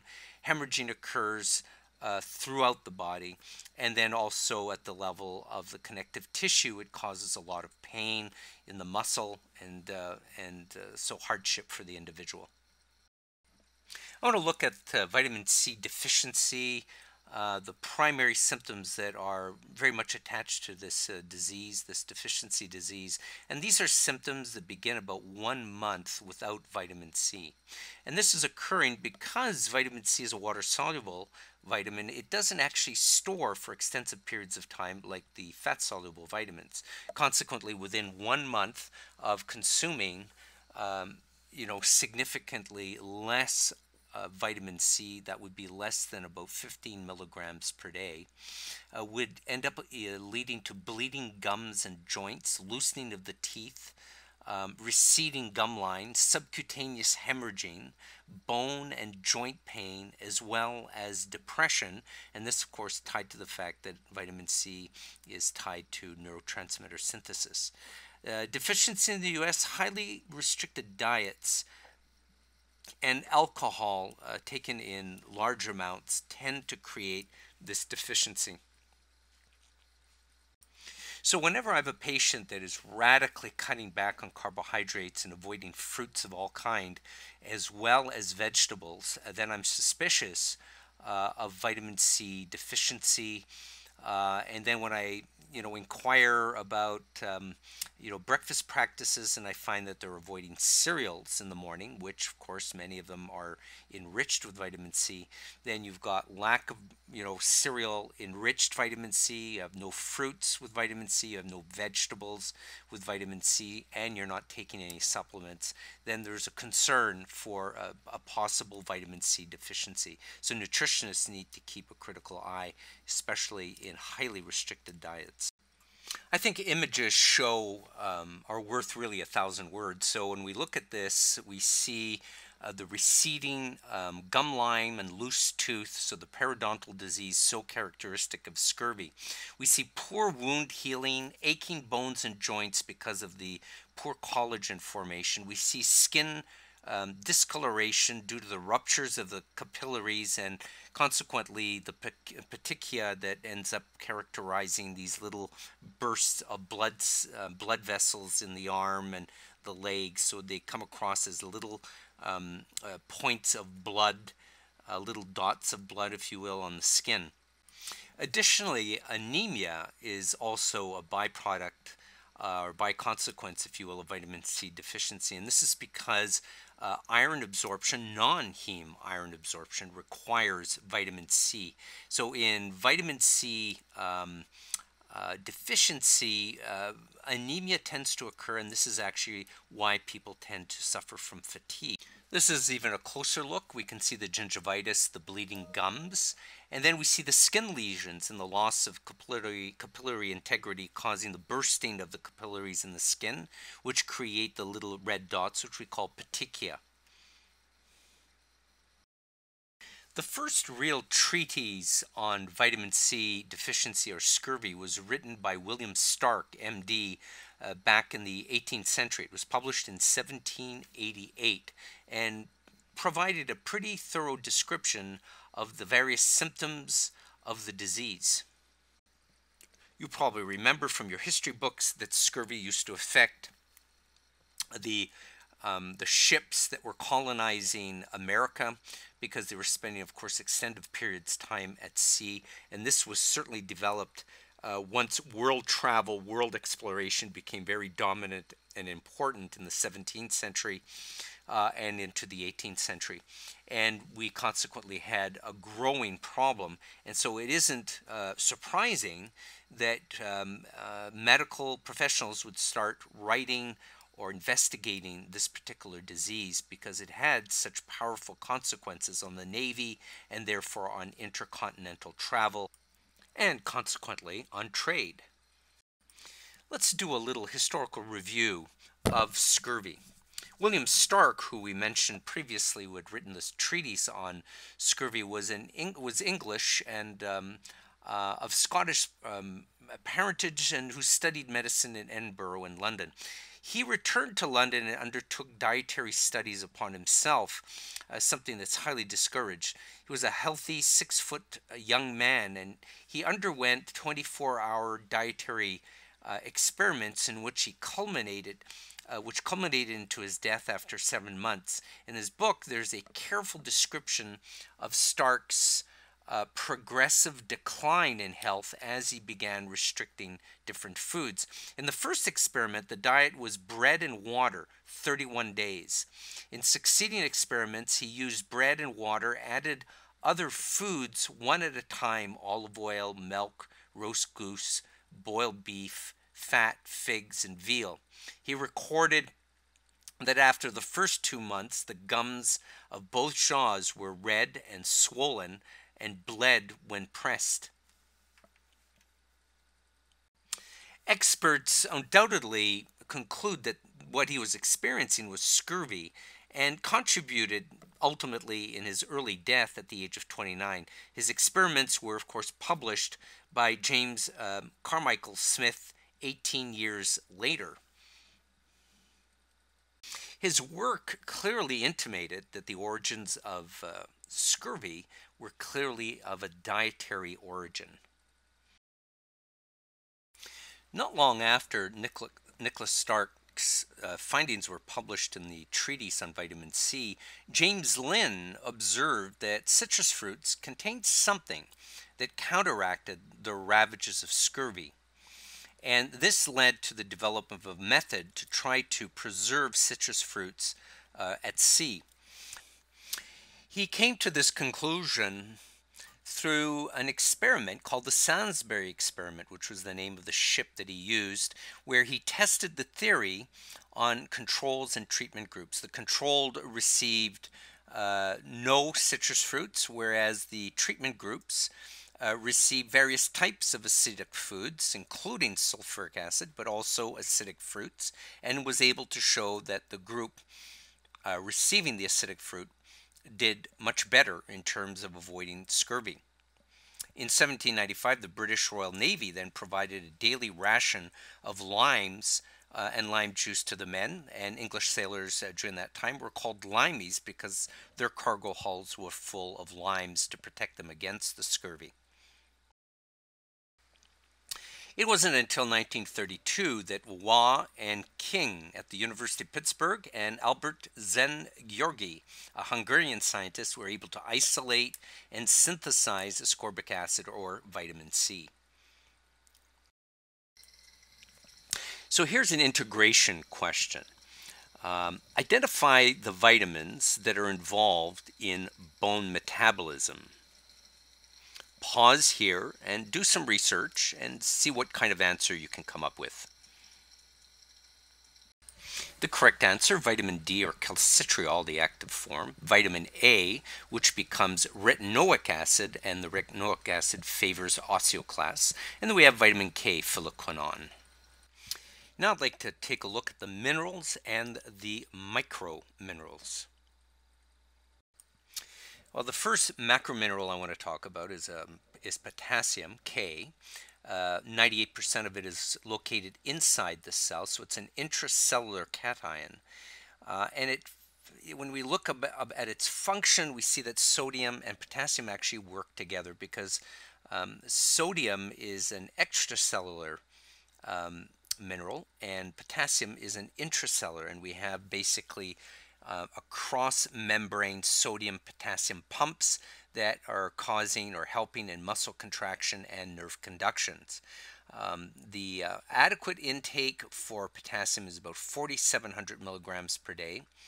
And in terms of health, there are very specific guidelines, very specific repercussions for any uh, blood level deviance of potassium. Uh, for example, uh, hyperkalemia, which is a toxic amount of potassium in the blood can affect uh, you know, can be toxic because it affects um, severe cardiac arrhythmias and cardiac arrest as well as vomiting.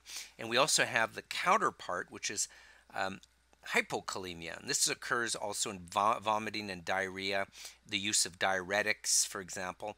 And the result is uh, muscular weakness, nervous irritability, mental disorientation, cardiac arrhythmia, and also death. Now, what we know is potassium may counteract the effect of sodium and calcium when it's taken in excess amounts. So this is a, a cautionary remark to be careful about taking um, potassium pills uh, because they can actually affect, like I said, that sodium um, and calcium balance in the body. This particular table will show you where most of the potassium is coming from in the diet and we can see the large green bars here. That is notably uh, the vegetables and um, uh, products that are contributing here. So we have broccoli we have carrots uh, we have potatoes um, and um, other sorts of vegetables and fruits like bananas and oranges. I think frequently people think of bananas as the major source of, um, of uh, potassium, but actually it's potatoes. And um, oftentimes, again, after uh, marathon runs or 10 kilometer runs, uh, there are often um, bananas on the table as well as oranges uh, to help um, uh, regulate, you know, the blood potassium uh, in the runners to avoid cramps and things of that nature. But often forgotten are the dairy products, notably milk and yogurt, uh, cottage cheese, and then we've got pinto beans, uh, and so forth, and then squash and avocados. So you could see that potassium is nicely distributed and very abundant in the diet. And it is also true that potassium is richly found in meats such as ground beef, chicken, and we also see it in tuna and some quantity in, in egg as well. The next macromineral that I want to investigate is calcium. 99% of the calcium is actually located in the bone, so really 1% is what we see in the blood.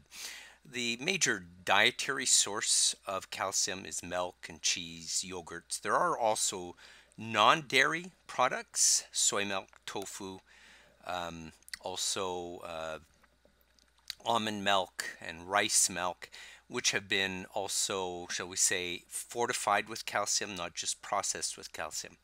There are also vegetables that contain calcium, but they also uh, contain oxalates, and these oxalates will bind calcium. So we generally say that uh, the calcium contribution of vegetables is actually lesser than what you would get from dairy because of the presence of these oxalates. But notably, Brussels sprouts, uh, cauliflower, Chinese cabbage, uh, really good sources um, of calcium, a nice complementary source, not comparable to dairy though. Uh, but with the oxalates, even less is really available for absorption.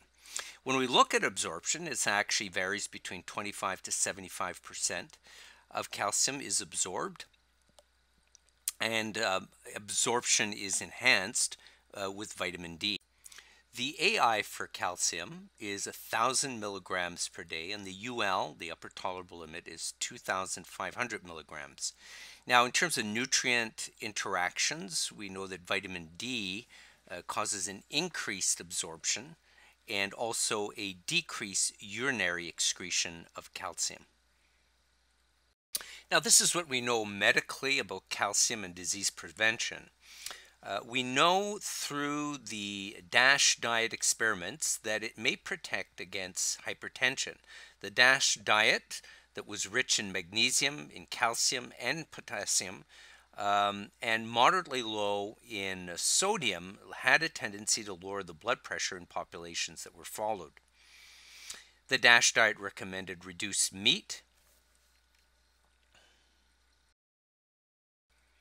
butter, and high fat foods. Uh, the DASH diet encouraged uh, fish, poultry, fruits, vegetables, whole grains, and nuts, very similar, if you will, to the Mediterranean diet. So, based on experiments looking at population trends epidemiologically in terms of disease trends, uh, it looks like calcium may protect against colon cancer, diabetes, um, and high cholesterol. And it also appears that when calcium is elevated in the diet, uh, that obesity tends to be lesser in that population. And that's strictly uh, tied not so much to the calcium, but to the dietary uh, involvement. Uh, so, whenever milk is high in the diet, that means soda pop is less in the diet. That's generally the strongest association. And in that sense, calcium then becomes protective against obesity. It's believed that calcium's role in the regulation of blood pressure is done in the following manner. It appears that calcium activates a protein called calmodulin, and this calmodulin relays messages to inside um, the cells, um, thereby regulating blood pressure. So let's take a look at the importance of calcium homeostasis and how homeostasis is managed. And we'll see something quite similar to what we saw with the vitamin D metabolism. So we're looking at bone mass and we're looking at the stability of plasma calcium right in the middle of the slide. And we can see that when the calcium is remained um, level, that the breakdown, or in other words, the resorption of bone, is equal to the synthesis of bone facilitated through the osteoblasts, specifically calcitonin, stimulating the osteoblasts to actually form bone mass. And we have a healthy bone mass taking place here. And again, as mentioned previously, the plasma calcium is maintained constant through three fronts the intestinal absorption of calcium, the breakdown or the resorption of bone from, the, from um, of bone calcium, and then also the renal tubular reabsorption of calcium. These three ways are used to keep the, the plasma calcium relatively constant, and this is stimulated, of course, through the parathyroid hormone, the active vitamin D, calcitriol, which favors calcium reabsorption, and then vitamin D favoring um, intestinal reabsorption, and parathyroid and vitamin D favoring um, calcium uh, or bone resorption. Now looking at plasma calcium and the lower arrow, we're indicating here when calcium has a tendency in the blood to sort of grow towards a lower level. This is quickly upregulated by first the resorption of bone. So the parathyroid hormone and vitamin D are acting here to help um, regulate or upregulate, if you will, uh, the plasma concentrations of calcium by breaking down calcium from the bone. This is called bone resorption. So it's helping that. And the parathyroid is used also um, uh, with uh, calcitriol or active vitamin D to uh, stimulate calcium reabsorption from the renal tubules. So that's helping to bring back the calcium levels. And um, we also know that, um, that calcitriol will help stimulate calcium uh, from the gut in order to favor uh, greater calcium absorption, in addition to phosphorus uh, from the gut in order to favor this uh, sort of process of breaking down, you know, or, or re um, the plasma calcium. Now, in this process, um, the osteoclasts are actually dominating now. So the uh, osteoclastic cells are breaking down the calcium and from the bone and then uh, maintaining, in other words, a, um, a regular plasma calcium when plasma calcium is normalized, then osteoblastic cells will dominate and shut off the osteoclastic cells in order to favor um, bone synthesis. And this is stimulated through calcitonin, which is secre secreted through the thyroid. And at that point, um, parathyroid hormone will then decrease. Now, when there's a chronically low intake of calcium, what ends up happening, as you can see, uh, the bone mass ends up decreasing because there is an uncontained um, resorption of bone uh, in order to maintain the plasma calcium with the idea that there is insufficient intestinal calcium and then the renal reabsorption only contributes so much. So in the end, there's kind of a net negative that takes place, and this net, net negative is compensated for by the bone, resulting in a smaller bone mass. And this is when we sort of see uh, the dangers of osteoporosis. The occurrence of early postmenopausal osteoporosis, especially in women, can be offset by attaining uh, peak bone mass somewhere between 20 to 30 years of age. This is roughly what geneticists tell us is our ideal age uh, category or range through which um, we can attain ma maximal bone mass through ideal dietary intakes of calcium, through dairy products in particular. And this is why it's very important to encourage children to consume their milk and eat their dairy products on a regular basis in order to favor um, proper bone mass. And so they have right up until the range of 20 to 30 to reach that ideal bone mass. Afterwards, uh, there is a steady bone decline, which gets exponentially greater after menopause.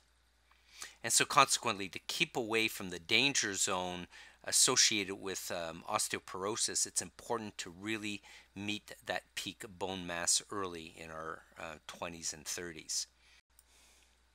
Now, this graph illustrates the um, exponential decline that I was talking about, the rapid decline during the postmenopausal period. And you can see that right up until the age of 30, this reinforces the point that you can reach your genetic potential. So the woman in green, woman A, obviously reached a high potential as a young lady, consuming probably adequate amounts of calcium through an appropriate dairy intake. But by contrast, woman B did not do that. And we can see that the decline in bone um, density actually follows the same kind of slant, the same kind of slope. Uh, once they hit uh, menopause, you can see that the decline is also of equally accentuated. But clearly, the woman B that did not meet her full genetic potential uh, is now, by the time she's in her menopause period, is reaching a very serious danger zone in terms of bone. But the woman A, having had a higher bone potential at the beginning at age 30, even though she's going through the same slope of decrease in bone density, is still well outside the danger zone. And you can see clearly after 60, woman B is in the in the zone that is of high risk of osteoporosis, whereas well after her 60s, woman A is clear of the danger zone and of osteoporosis. Well, like calcium, uh, phosphorus is mostly found in bone. 85% of it is located in bone. And the foods that are rich in protein, like milk and meat and eggs, uh, really contain a lot of um, phosphorus. Uh, milk contains uh, both calcium and phosphorus, and this is ideal because the ideal ratio of calcium and phosphorus is one to one, and milk is very close to having a one to one ratio of calcium and phosphorus. Now, process, processed foods such as soft drinks contain some phosphorus, but no calcium. And so when you're consuming um, soft drinks, for example, you're bringing in phosphorus but no calcium. And over a day's intake, what you end up with is a dis an imbalance in that calcium to phosphorus ratio. More phosphorus in the end of the day than you have calcium. And then you've got processed meat, which is also high in phosphorus as well. Now you've got nutrient interactions here that are worthy of consideration. Vitamin D causes an increase of intestinal absorption of phosphorus. I mentioned that in previous slides, along with calcium. And the molar ratio that is ideal for calcium and phosphorus is 1. So it's a 1 to 1 ratio. And this is ideal for proper bone calcification.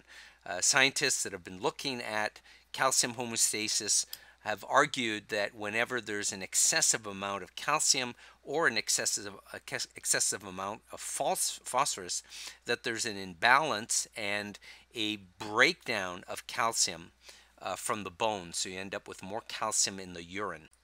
So, in true meaning, this results in a decalcification of bone whenever the imbalance of calcium to phosphorus is greatly changed.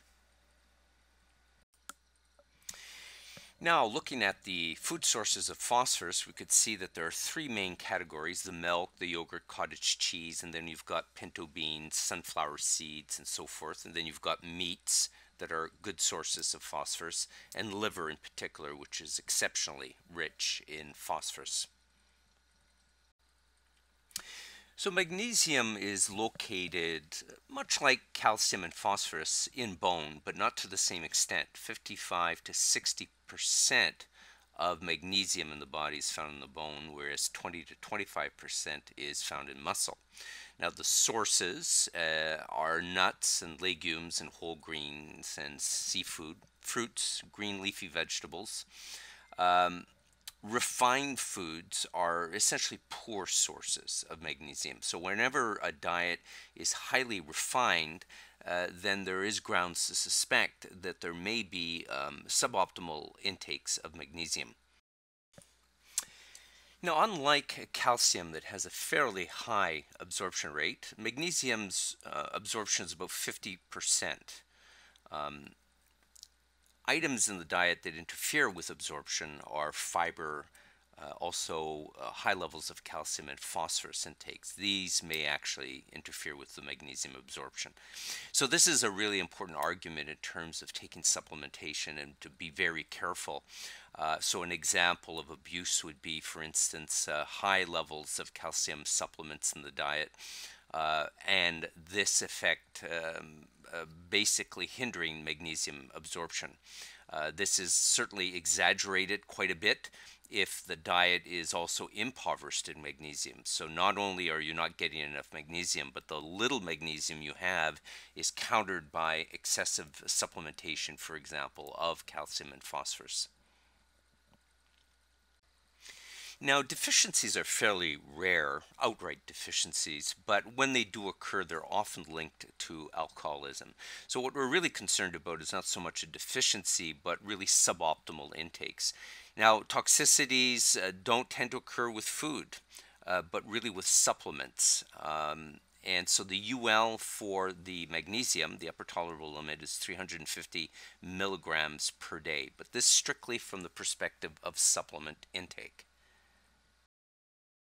All right then, so how about a little summary? So the main function um, takeaway here for magnesium is bone mineralization, just like calcium and phosphorus. So there's a significant amount of magnesium in bone. The maintenance of teeth, very important, and also for muscle contractions. Zinc is the next nutrient or micromineral that I'd like to take a look at. So as a rule, a well-trained nutritionist will recognize that whenever there's a low zinc intake, proteins in the food tend to be low. And we can see this here um, work out very clearly as we see um, dairy products are very, very good source. We can see that uh, sunflower seeds and um, uh, also like pinto beans and things of that nature, that ground beef is a very good source.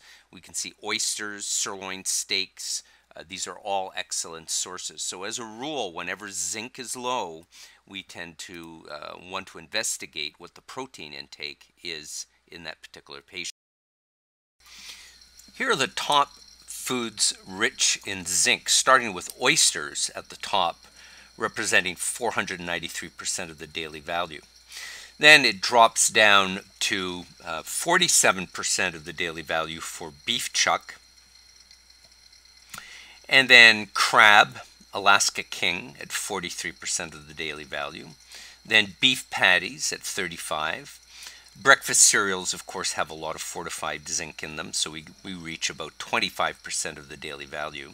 Lobster, very rich. Pork, uh, baked beans, chicken, dark meat, uh, and then yogurt, a little bit in there as well. So what we conclude from this is that zinc usually is associated with rich sources of actual protein.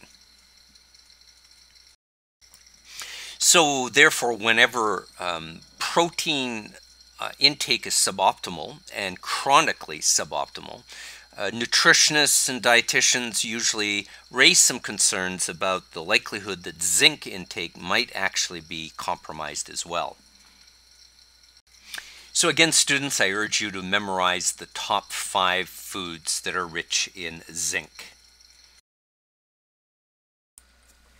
This particular slide is going to look over the uh, function of zinc, uh, the role of metallothionein uh, as a storage component for zinc, and the value of metallothionein and zinc in overall health. And we'll take it uh, systematically, moving first towards the left and going full circle all the way back up to the right.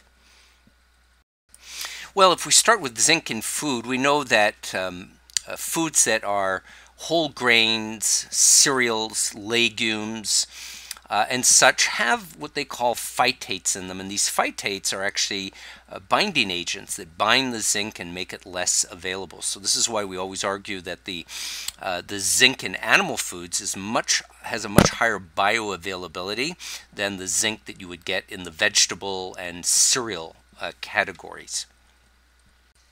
Now let's follow the uh, arrow up to the orange box. We see that zinc can also be found in lozenges and these lozenges have been found in controlled studies to actually be very effective in reducing the duration of colds. Uh, and so that is actually considered an effective uh, medical treatment um, for uh, for individuals whose immune systems are compromised, and there seems to be uh, certainly a therapeutic value to zinc lozenges that's well uh, recognized and well tested. Now, moving to the left in the brown box, we know that also um, that zinc is very important in preserving the stability uh, of biological membranes, for instance, and that it's uh, playing a key role in providing uh, structural support to proteins by directly impacting um, elements in nucleic acids and in gene regulating proteins. Well, additionally, the pancreas uses zinc to make digestive enzymes and secretes them right into the intestine. So now we go right into the middle of the graph and we can see the mucosal cells in the intestine store the excessive zinc in a protein system called metallothionein. And the metallothionein is acting as a, a, kind of a good sort of storage unit for the zinc and lets it out as the body requires it. For instance, um, it will uh, release zinc to albumin and transferrin for transport in the body. But we also know that uh, the zinc will also be very uh, a very important signaling device in um, oxidative or in prevention uh, against oxidative stress. Hence, when nitric oxide or um, reactive oxygen species are released into the body, the metallothionein protein will also likewise release zinc in order to basically favor um, an antioxidant response to the free radical uh, nitric oxide releases into the body that put the body under a tremendous amount of stress. So this is a reminder that the metallothionein protein is really uh, an internal reservoir for zinc, and it judiciously lets the zinc out uh, in accordance to the requirements of the body. An interesting nutrient-nutrient interactions to take note of is that when um, large concentrations of iron B on 25 milligrams per day is given uh, as a dosage, it has a tendency to decrease uh, zinc absorption. So now as a matter of a recap, what really compromises zinc absorption is the presence of uh, phytates in cereals and grains, for example, and legumes. Uh, this makes the zinc uh, from these particular food sources less biologically active, and we know that uh, large doses of vitamin, or not vitamin, but iron, uh, that are greater than 25 milligrams will also basically inhibit uh, zinc absorption. Now, one of the consequences of zinc deficiency is the stunted growth or sometimes dwarfism. The role of zinc in the body can be seen in so many different um, dimensions, notably the immune system. It affects the neutrophil and macrophages uh, in the body, causing them to go down. It's involved in protein synthesis, DNA synthesis, cell division, and has a direct effect on taste and smell. So that's one of the characteristics that disappears in uh, zinc deficiency is precisely that um, that ability to taste and smell. In severe um, uh, deficiencies, there's hair loss, which is much more dramatic, diarrhea, there's delayed sexual maturation in young children. In the image on this slide, we could see this 17 year old uh, who really is only four feet tall, so there's a severe um, delay in growth. Uh, there's hypogonadism as well, so a lack of sexual maturation. Um, at risk are children that are breastfed for ex exclusively breastfed for extended periods of time, uh, notably children that are 7 to 12 months old that are still only being breastfed are at high risk also of zinc deficiency because of the poor content of zinc uh, in the breast milk, uh, poor in the sense that it's insufficient to meet uh, the uh, needs of a 7 to 12 month old baby. On the international stage, zinc deficiency uh, affects about 20% of the world population.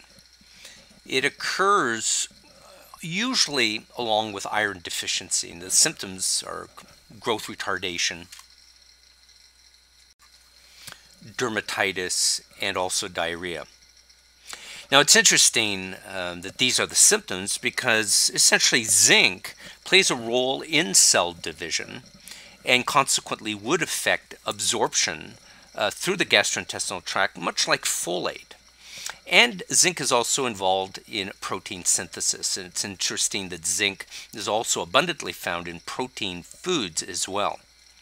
So consequently, both um, cell division and protein synthesis uh, would clearly have um, uh, would clearly be important functions uh, involved in growth, for instance, and in the replication of skin tissue. Thus, the dermatitis and also growth retardation are not surprising. Now, copper is very different than zinc in that it's not primarily in protein foods. In fact, in some organ foods, but mostly plant foods like nuts and seeds and legumes. Here's some examples. So, at the top of the list, the most um, concentrated copper is in oysters, and then shiitake mushrooms, firm tofu, sweet potatoes, sesame seeds, cashews, chickpeas, salmon, dark chocolate, and avocado. So, you can see copper uh, is not primarily found in protein foods like zinc. So it's very much of a distinction. Now, dietary deficiencies are rare because the typical diet is, um, in America at least, is uh, adequate and will involve at least some of these foods, especially uh, in individuals that are careful not to be consuming uh, junk food on a regular basis. Now, there are some genetic abnormalities. Menkes disease is a copper that's not released into circulation. So basically, copper that is captured uh, within um, uh, within the body but not released. The Wilson's disease is a, a copper accumulation in the liver and the brain, and it leads to serious disability.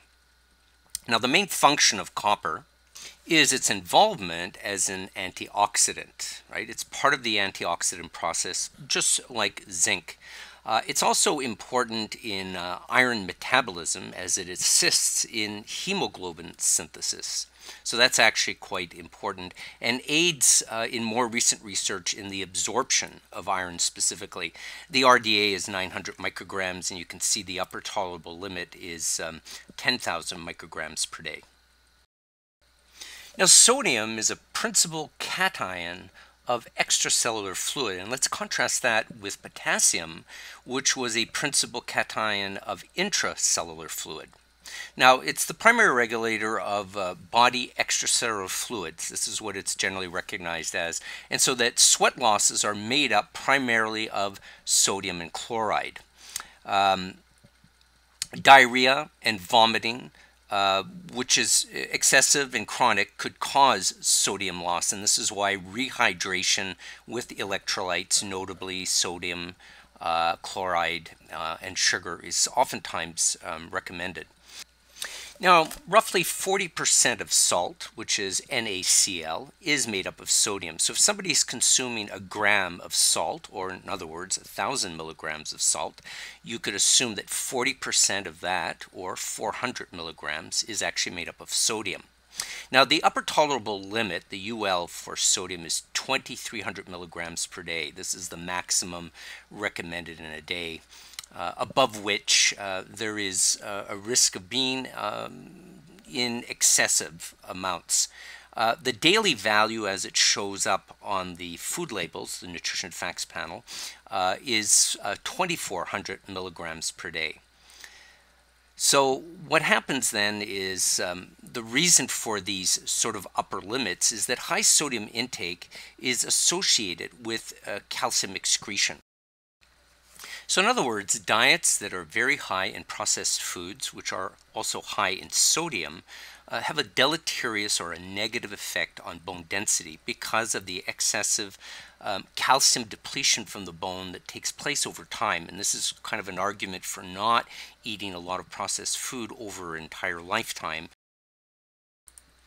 Now, the DASH diet study showed us that sodium, salt specifically, exacerbates hypertension.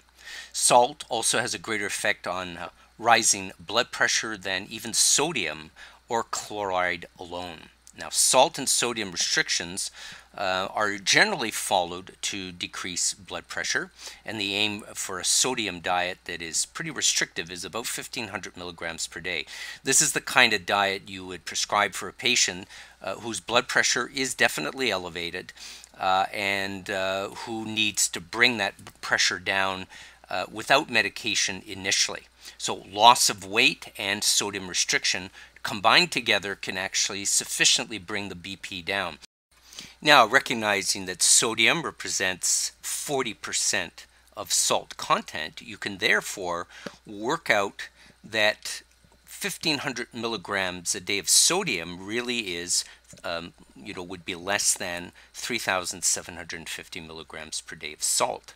And this is basically saying in an algebraic equation, 40% or 0.4 times salt content, which we don't know, is equal to 1500. So 1500 divided by 0.4 gives us, therefore, the salt content. So what we know about the daily content of salt in a diet, it's approximately 5 to 7 grams per day. So we're pretty high salt consumers. Um, in instances of, um, uh, for instance, excessive water intake that we see sometimes in runners uh, that are constantly um, drinking to replenish fluid content, which is perceived as being lost through the running process, there is a danger of uh, getting what we what runners called um, water intoxication. But this is actually called hyponatremia. This is a drop in the blood values of sodium, and this hyponatremia um, is characterized by, uh, you know, vomiting, uh, diarrhea, fatigue, uh, mental confusion. Uh, so very, very dangerous. So now the recap of an integration question, you know, in bone formation, what vitamins are critically involved? First, we have vitamin D. The active form of vitamin D is calcitriol. And the calcitriol, if you remember, when uh, calcium levels are low, uh, stimulates the parathyroid hormone, which then activates um, 25 hydroxy vitamin D to become 125 dihydroxy vitamin D, which is calcitriol, in the kidney. And this particular vitamin D then is instrumental in favoring bone resorption, and so therefore favoring the osteoclast to act uh, and to break down bone, so to allow the renewal of bone.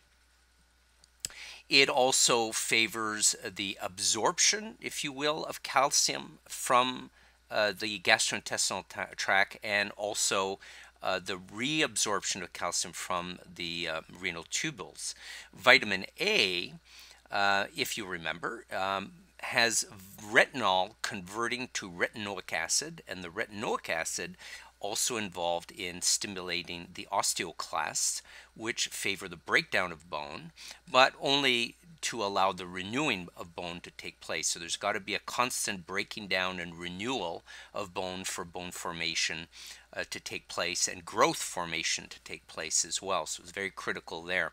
And we know that vitamin K is also very much involved uh, at the level of uh, the protein synthesis uh, of the osteoids, uh, which is the um, protein of the bone, around which uh, the matrix then gets formed that gives the bone its actual solidity or crystallization, if you will. This is the end of the presentation on micronutrients, and I'd like to encourage students now to take this training quiz. But first, before doing that, perhaps reread your chapter and uh, review the PowerPoint um, presentation as well in the form of the video, and then sit down and see how well you did. So this question is about organizing the foods that are at the bottom, spinach, clams, chickpeas, and so forth, and aligning them with the nutrient uh, that is found most prominently within them. So pause here and think through your problem and I'll show you the answer on the next slide. So now if your foods are correctly aligned, then with vitamin C you would have oranges. With uh, thiamine, you would have breakfast cereals. For vitamin A, retinol, you would have yams or sweet potatoes. For vitamin D, you would have cod liver oil. For folate, you would have spinach. Vitamin B12, clams. Vitamin B6, chickpeas. And for zinc, you would have oysters. Here's another question consisting of matching the nutrients on the left with the correct foods that are outlined below trout, sweet red potato, uh, peppers, swordfish, wheat germ, etc. So pause here and align the correct foods with the correct nutrient.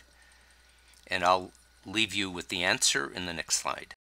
Well, here's the correct answer. Vitamin E should be associated with wheat germ, vitamin K with collards, vitamin A with sweet potato, vitamin D with swordfish, vitamin C red pepper, uh, vitamin B1 breakfast cereal, vitamin B6 chickpeas, and vitamin B12 trout. Next question. Identify the magenta tongue symptom seen in vitamin B2 uh, deficiency, or what we would call riboflavin deficiency. Pause here and select your answer. The correct answer is C, glossitis. Next question. Identify the physician who wrote the first treatise on rickets back in the 17th century. Pause here and select your answer. The correct answer is A, Francis Glisson. Next question, beriberi is the disease resulting from what nutrient deficiency? Pause here, select your answer.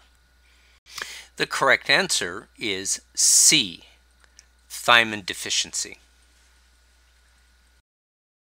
Next question, identify the physician who documented pellagra preventative factor in a balanced diet. Pause here and select your answer.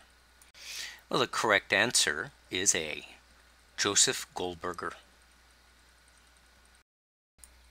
What deficiency disease has symptoms of diarrhea, dermatitis, dementia, and death? The 4D symptoms. Pause here and select your answer. The correct answer is B, pellagra. Identify the cause of megaloblastic anemia. Pause here and select your answer. The correct answer is A. Because of folate deficiency, DNA in the cell cannot replicate, uh, causing the cell to grow in size rather than duplicate through a mitotic division. The result is a large red blood cell, or megaloblastosis. Next question. Identify below the correct interpretation of the expression folate fortification and supplements mask B12 deficiency? The correct answer is B. Folate supplements can rectify symptoms of folate deficiency that are also um, associated with B12 deficiency. However, however, the B12 deficiency, which is associated strictly with pernicious anemia, uh, goes undetected because there is an absence of megaloblastic anemia. Next question. Identify the vitamin responsible for much of protein and amino acid metabolism. Pause here and select your answer. The correct answer is D, pyridoxine or vitamin B6. Next question, identify the vitamin that can be derived or synthesized from an amino acid. Pause here and select your answer. The correct answer is C. Indeed, niacin can be directly synthesized from the amino acid tryptophan with the help of B6 pyridoxine. What other deficiencies tend to be linked to vitamin A deficiency. Pause here, select your answer. The correct answer is B. Calories, zinc, and protein deficiency tends to occur concomitantly with vitamin A deficiency. Next question. Identify below what might be a cause of vitamin B12 deficiency. Pause here and select your answer. The correct answer, B, achlorhydria. This is the lack of acid that's produced from the parietal cells, usually after individuals have reached the age of 50. So it's typical in older age. This lesser pro, this lesser uh, acid that's being secreted uh, makes that there is less release of B12 from the actual protein foods because the um, acid specifically uh, is very important for the breaking down of those protein foods. Next question. When an alcoholic suffers from thiamine deficiency, identify the disease that ensues. Pause here and select your answer. The correct answer is D. Wernicke-Korsakoff syndrome. Countries that consume abundant raw fish or sushi have a higher likelihood of becoming deficient in what vitamin? Pause here and select your answer. The correct answer is D, thiamine. The enzyme thiaminase is the one that basically degrades the thiamine and it's found in the raw fish. Next question, what vitamin deficiency increases the risk of hemorrhaging since it plays a role in the clotting mechanism? Pause here and select your answer. Well, the correct answer is E, vitamin K. Next question. Identify the vitamin that is associated with the biochemical coenzyme FAD. Pause here and select your answer. The correct answer is A, riboflavin. FAD stands for flavin adenine dinucleotide. Identify the accurate definition of the symptom glossitis found in several nutrient deficiencies. Pause here and select your answer. The correct answer is D, bright red swollen tongue. Next question. Pellagra was caused by what vitamin deficiency in the American South during the early 1900s? Pause here and select your answer. The correct answer, niacin. Next question. In starvation, what is the purpose of hepatic glycogenolysis? Pause here and select your answer. The correct answer is C, to release glucose into the blood from the breakdown of glycogen. Next question. With the depletion of liver glycogen after 48 hours of fasting, what is the next biochemical process that ensures glucose reaches the brain? Pause here and select your answer. The correct answer is E, gluconeogenesis. This is the step after glycogen has been depleted from the liver that ensures that through the breakdown of protein and other um, TCA metabolites, glucose can be formed. So it's a neogenesis, a new genesis of glucose from an unusual source, notably protein or amino acids. Next question. By the sixth day of fasting, what substrate is the brain significantly relying on for energy? Pause here and select your answer. The correct answer is D, the ketones. After the reliance on um, blood sugars and on sugar to nourish the brain, the, the body transitions from the reliance on glucose to the reliance on fatty acid breakdown or lipolysis. The production of ketones are really just an incomplete metabolized fat or fatty acid. And these ketones are, have the ability to go through the blood brain barrier and to nourish the brain instead of actually glucose. Next question. A 45 year old woman weighing 89.34 kilograms with a height equal to 5 feet 7 inches is admitted to hospital for skeletal trauma, injury factor 1.3. Determine the patient's total energy expenditure. Pause here, pull out a calculator, a paper, and a pen, and calculate your answer. The correct answer is D, 2,530 calories per day. Now, in order to do this, the REE equation that you see here then must multiply 1.2 activity factor, which is assigned to a patient being bedridden, and the 1.3 uh, injury factor that's indicated in the question. Next question. A patient weighing 197 pounds is admitted to the hospital burn unit with 40% BSA burn surface area, uh, is assessed and needing 3.2 grams per kilogram body weight of protein. Identify his protein need. Pause here, do your calculations, and select the correct answer. The correct answer is D, 286 grams.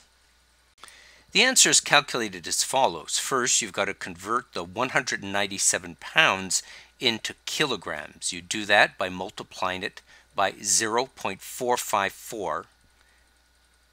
That leaves you with 89.44 kilograms.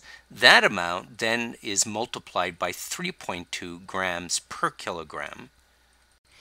And the answer is 286 grams. Next question. What U.S. public health strategy was implemented in the 1930s to prevent rickets? Pause here and select your answer. The correct answer is C, fortification of the milk with vitamin D. This occurred during the 1930s and 40s, whereas cod liver oil in the school was implemented as an early intervention uh, to help uh, control the development of rickets in young children during the 1920s.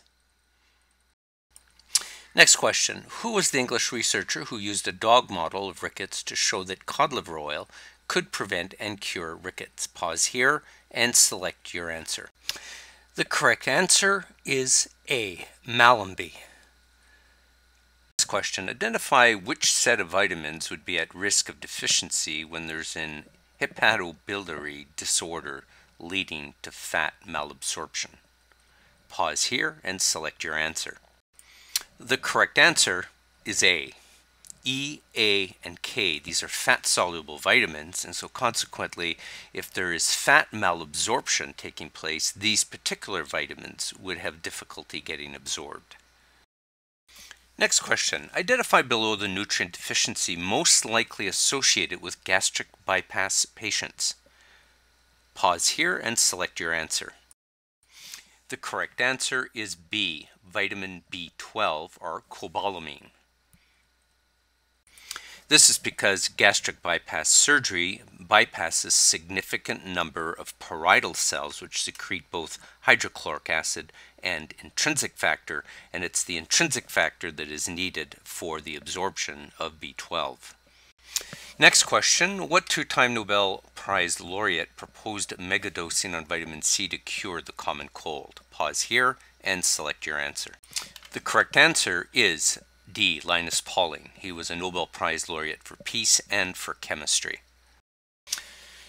Next question. What vitamin is known to protect the polyunsaturated fatty acids, or the PUFAs, found in the phospholipid layer of the cell from free radical oxidation. Pause here and select your answer.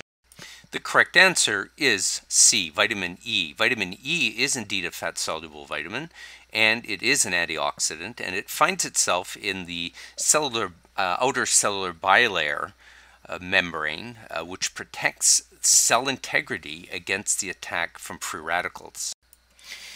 In international malnutrition, how would you define the economic development approach model for solving world hunger?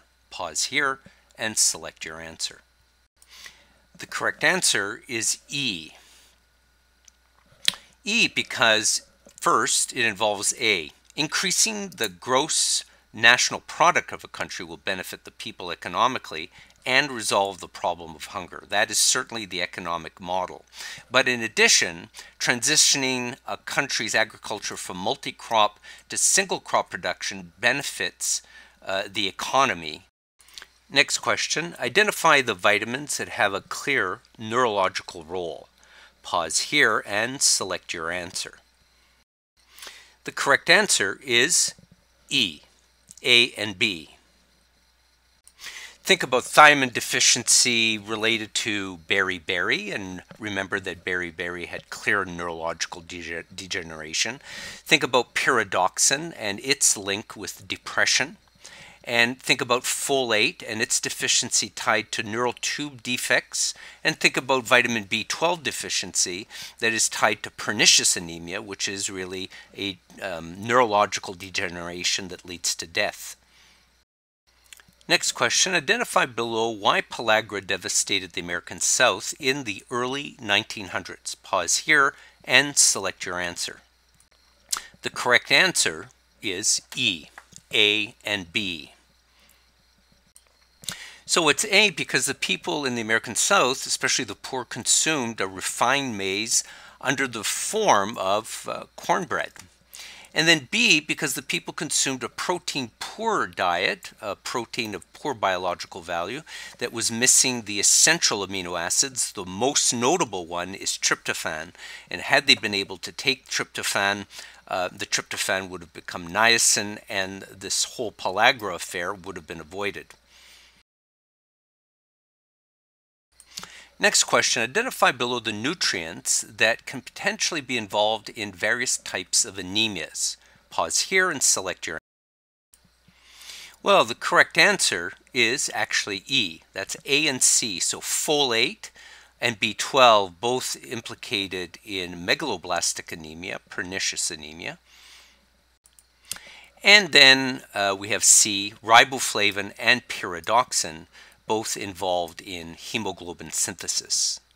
Next question. Identify the vitamin that acts as a cofactor in the conversion of tryptophan to niacin. The correct answer is D, pyridoxine, or vitamin B6. Next question. Identify the nutrient deficiency responsible for the greatest cause of mental retardation in the world. Pause here and select your answer. The correct answer is E, iodine deficiency. Next question. What is recognized as the ideal molar ratio of calcium to phosphorus in order to favor maximal bone health? The correct answer is D. It's a calcium to phosphorus ratio of 1 to 1. And this minimizes um, calcium matrix uh, erosion or the loss of calcium in the urine. Both Wilson's disease and Menkes disease are linked to what nutrient? Pause here and select your answer. The correct answer is C, copper. Next question. Based on your textbook readings, identify the significance of the ash, acid-ash hypothesis. The correct answer is A. High intake of meat, of dairy, and processed foods adds uh, an acid um, phytate load that causes bone demineralization and increases the risk of osteoporosis. Next question. Identify the accurate chemical name given to vitamin K. Pause here and select your answer. The correct answer is D, phylloquinone. Identify the nutrients that have antioxidant properties. Pause here and select your answer. The correct answer is E, A and B, ascorbic acid and alpha tocopherol, which is vitamin E. These are two uh, certainly um, recognized antioxidants, and then zinc and copper are also part of the antioxidant mechanism in the body. Next question, identify the biochemical coenzyme that's linked to niacin. Pause here and select your answer. The correct answer is D, NAD, nicotinamide adenine dinucleotide. This particular coenzyme is found throughout the TCA cycle.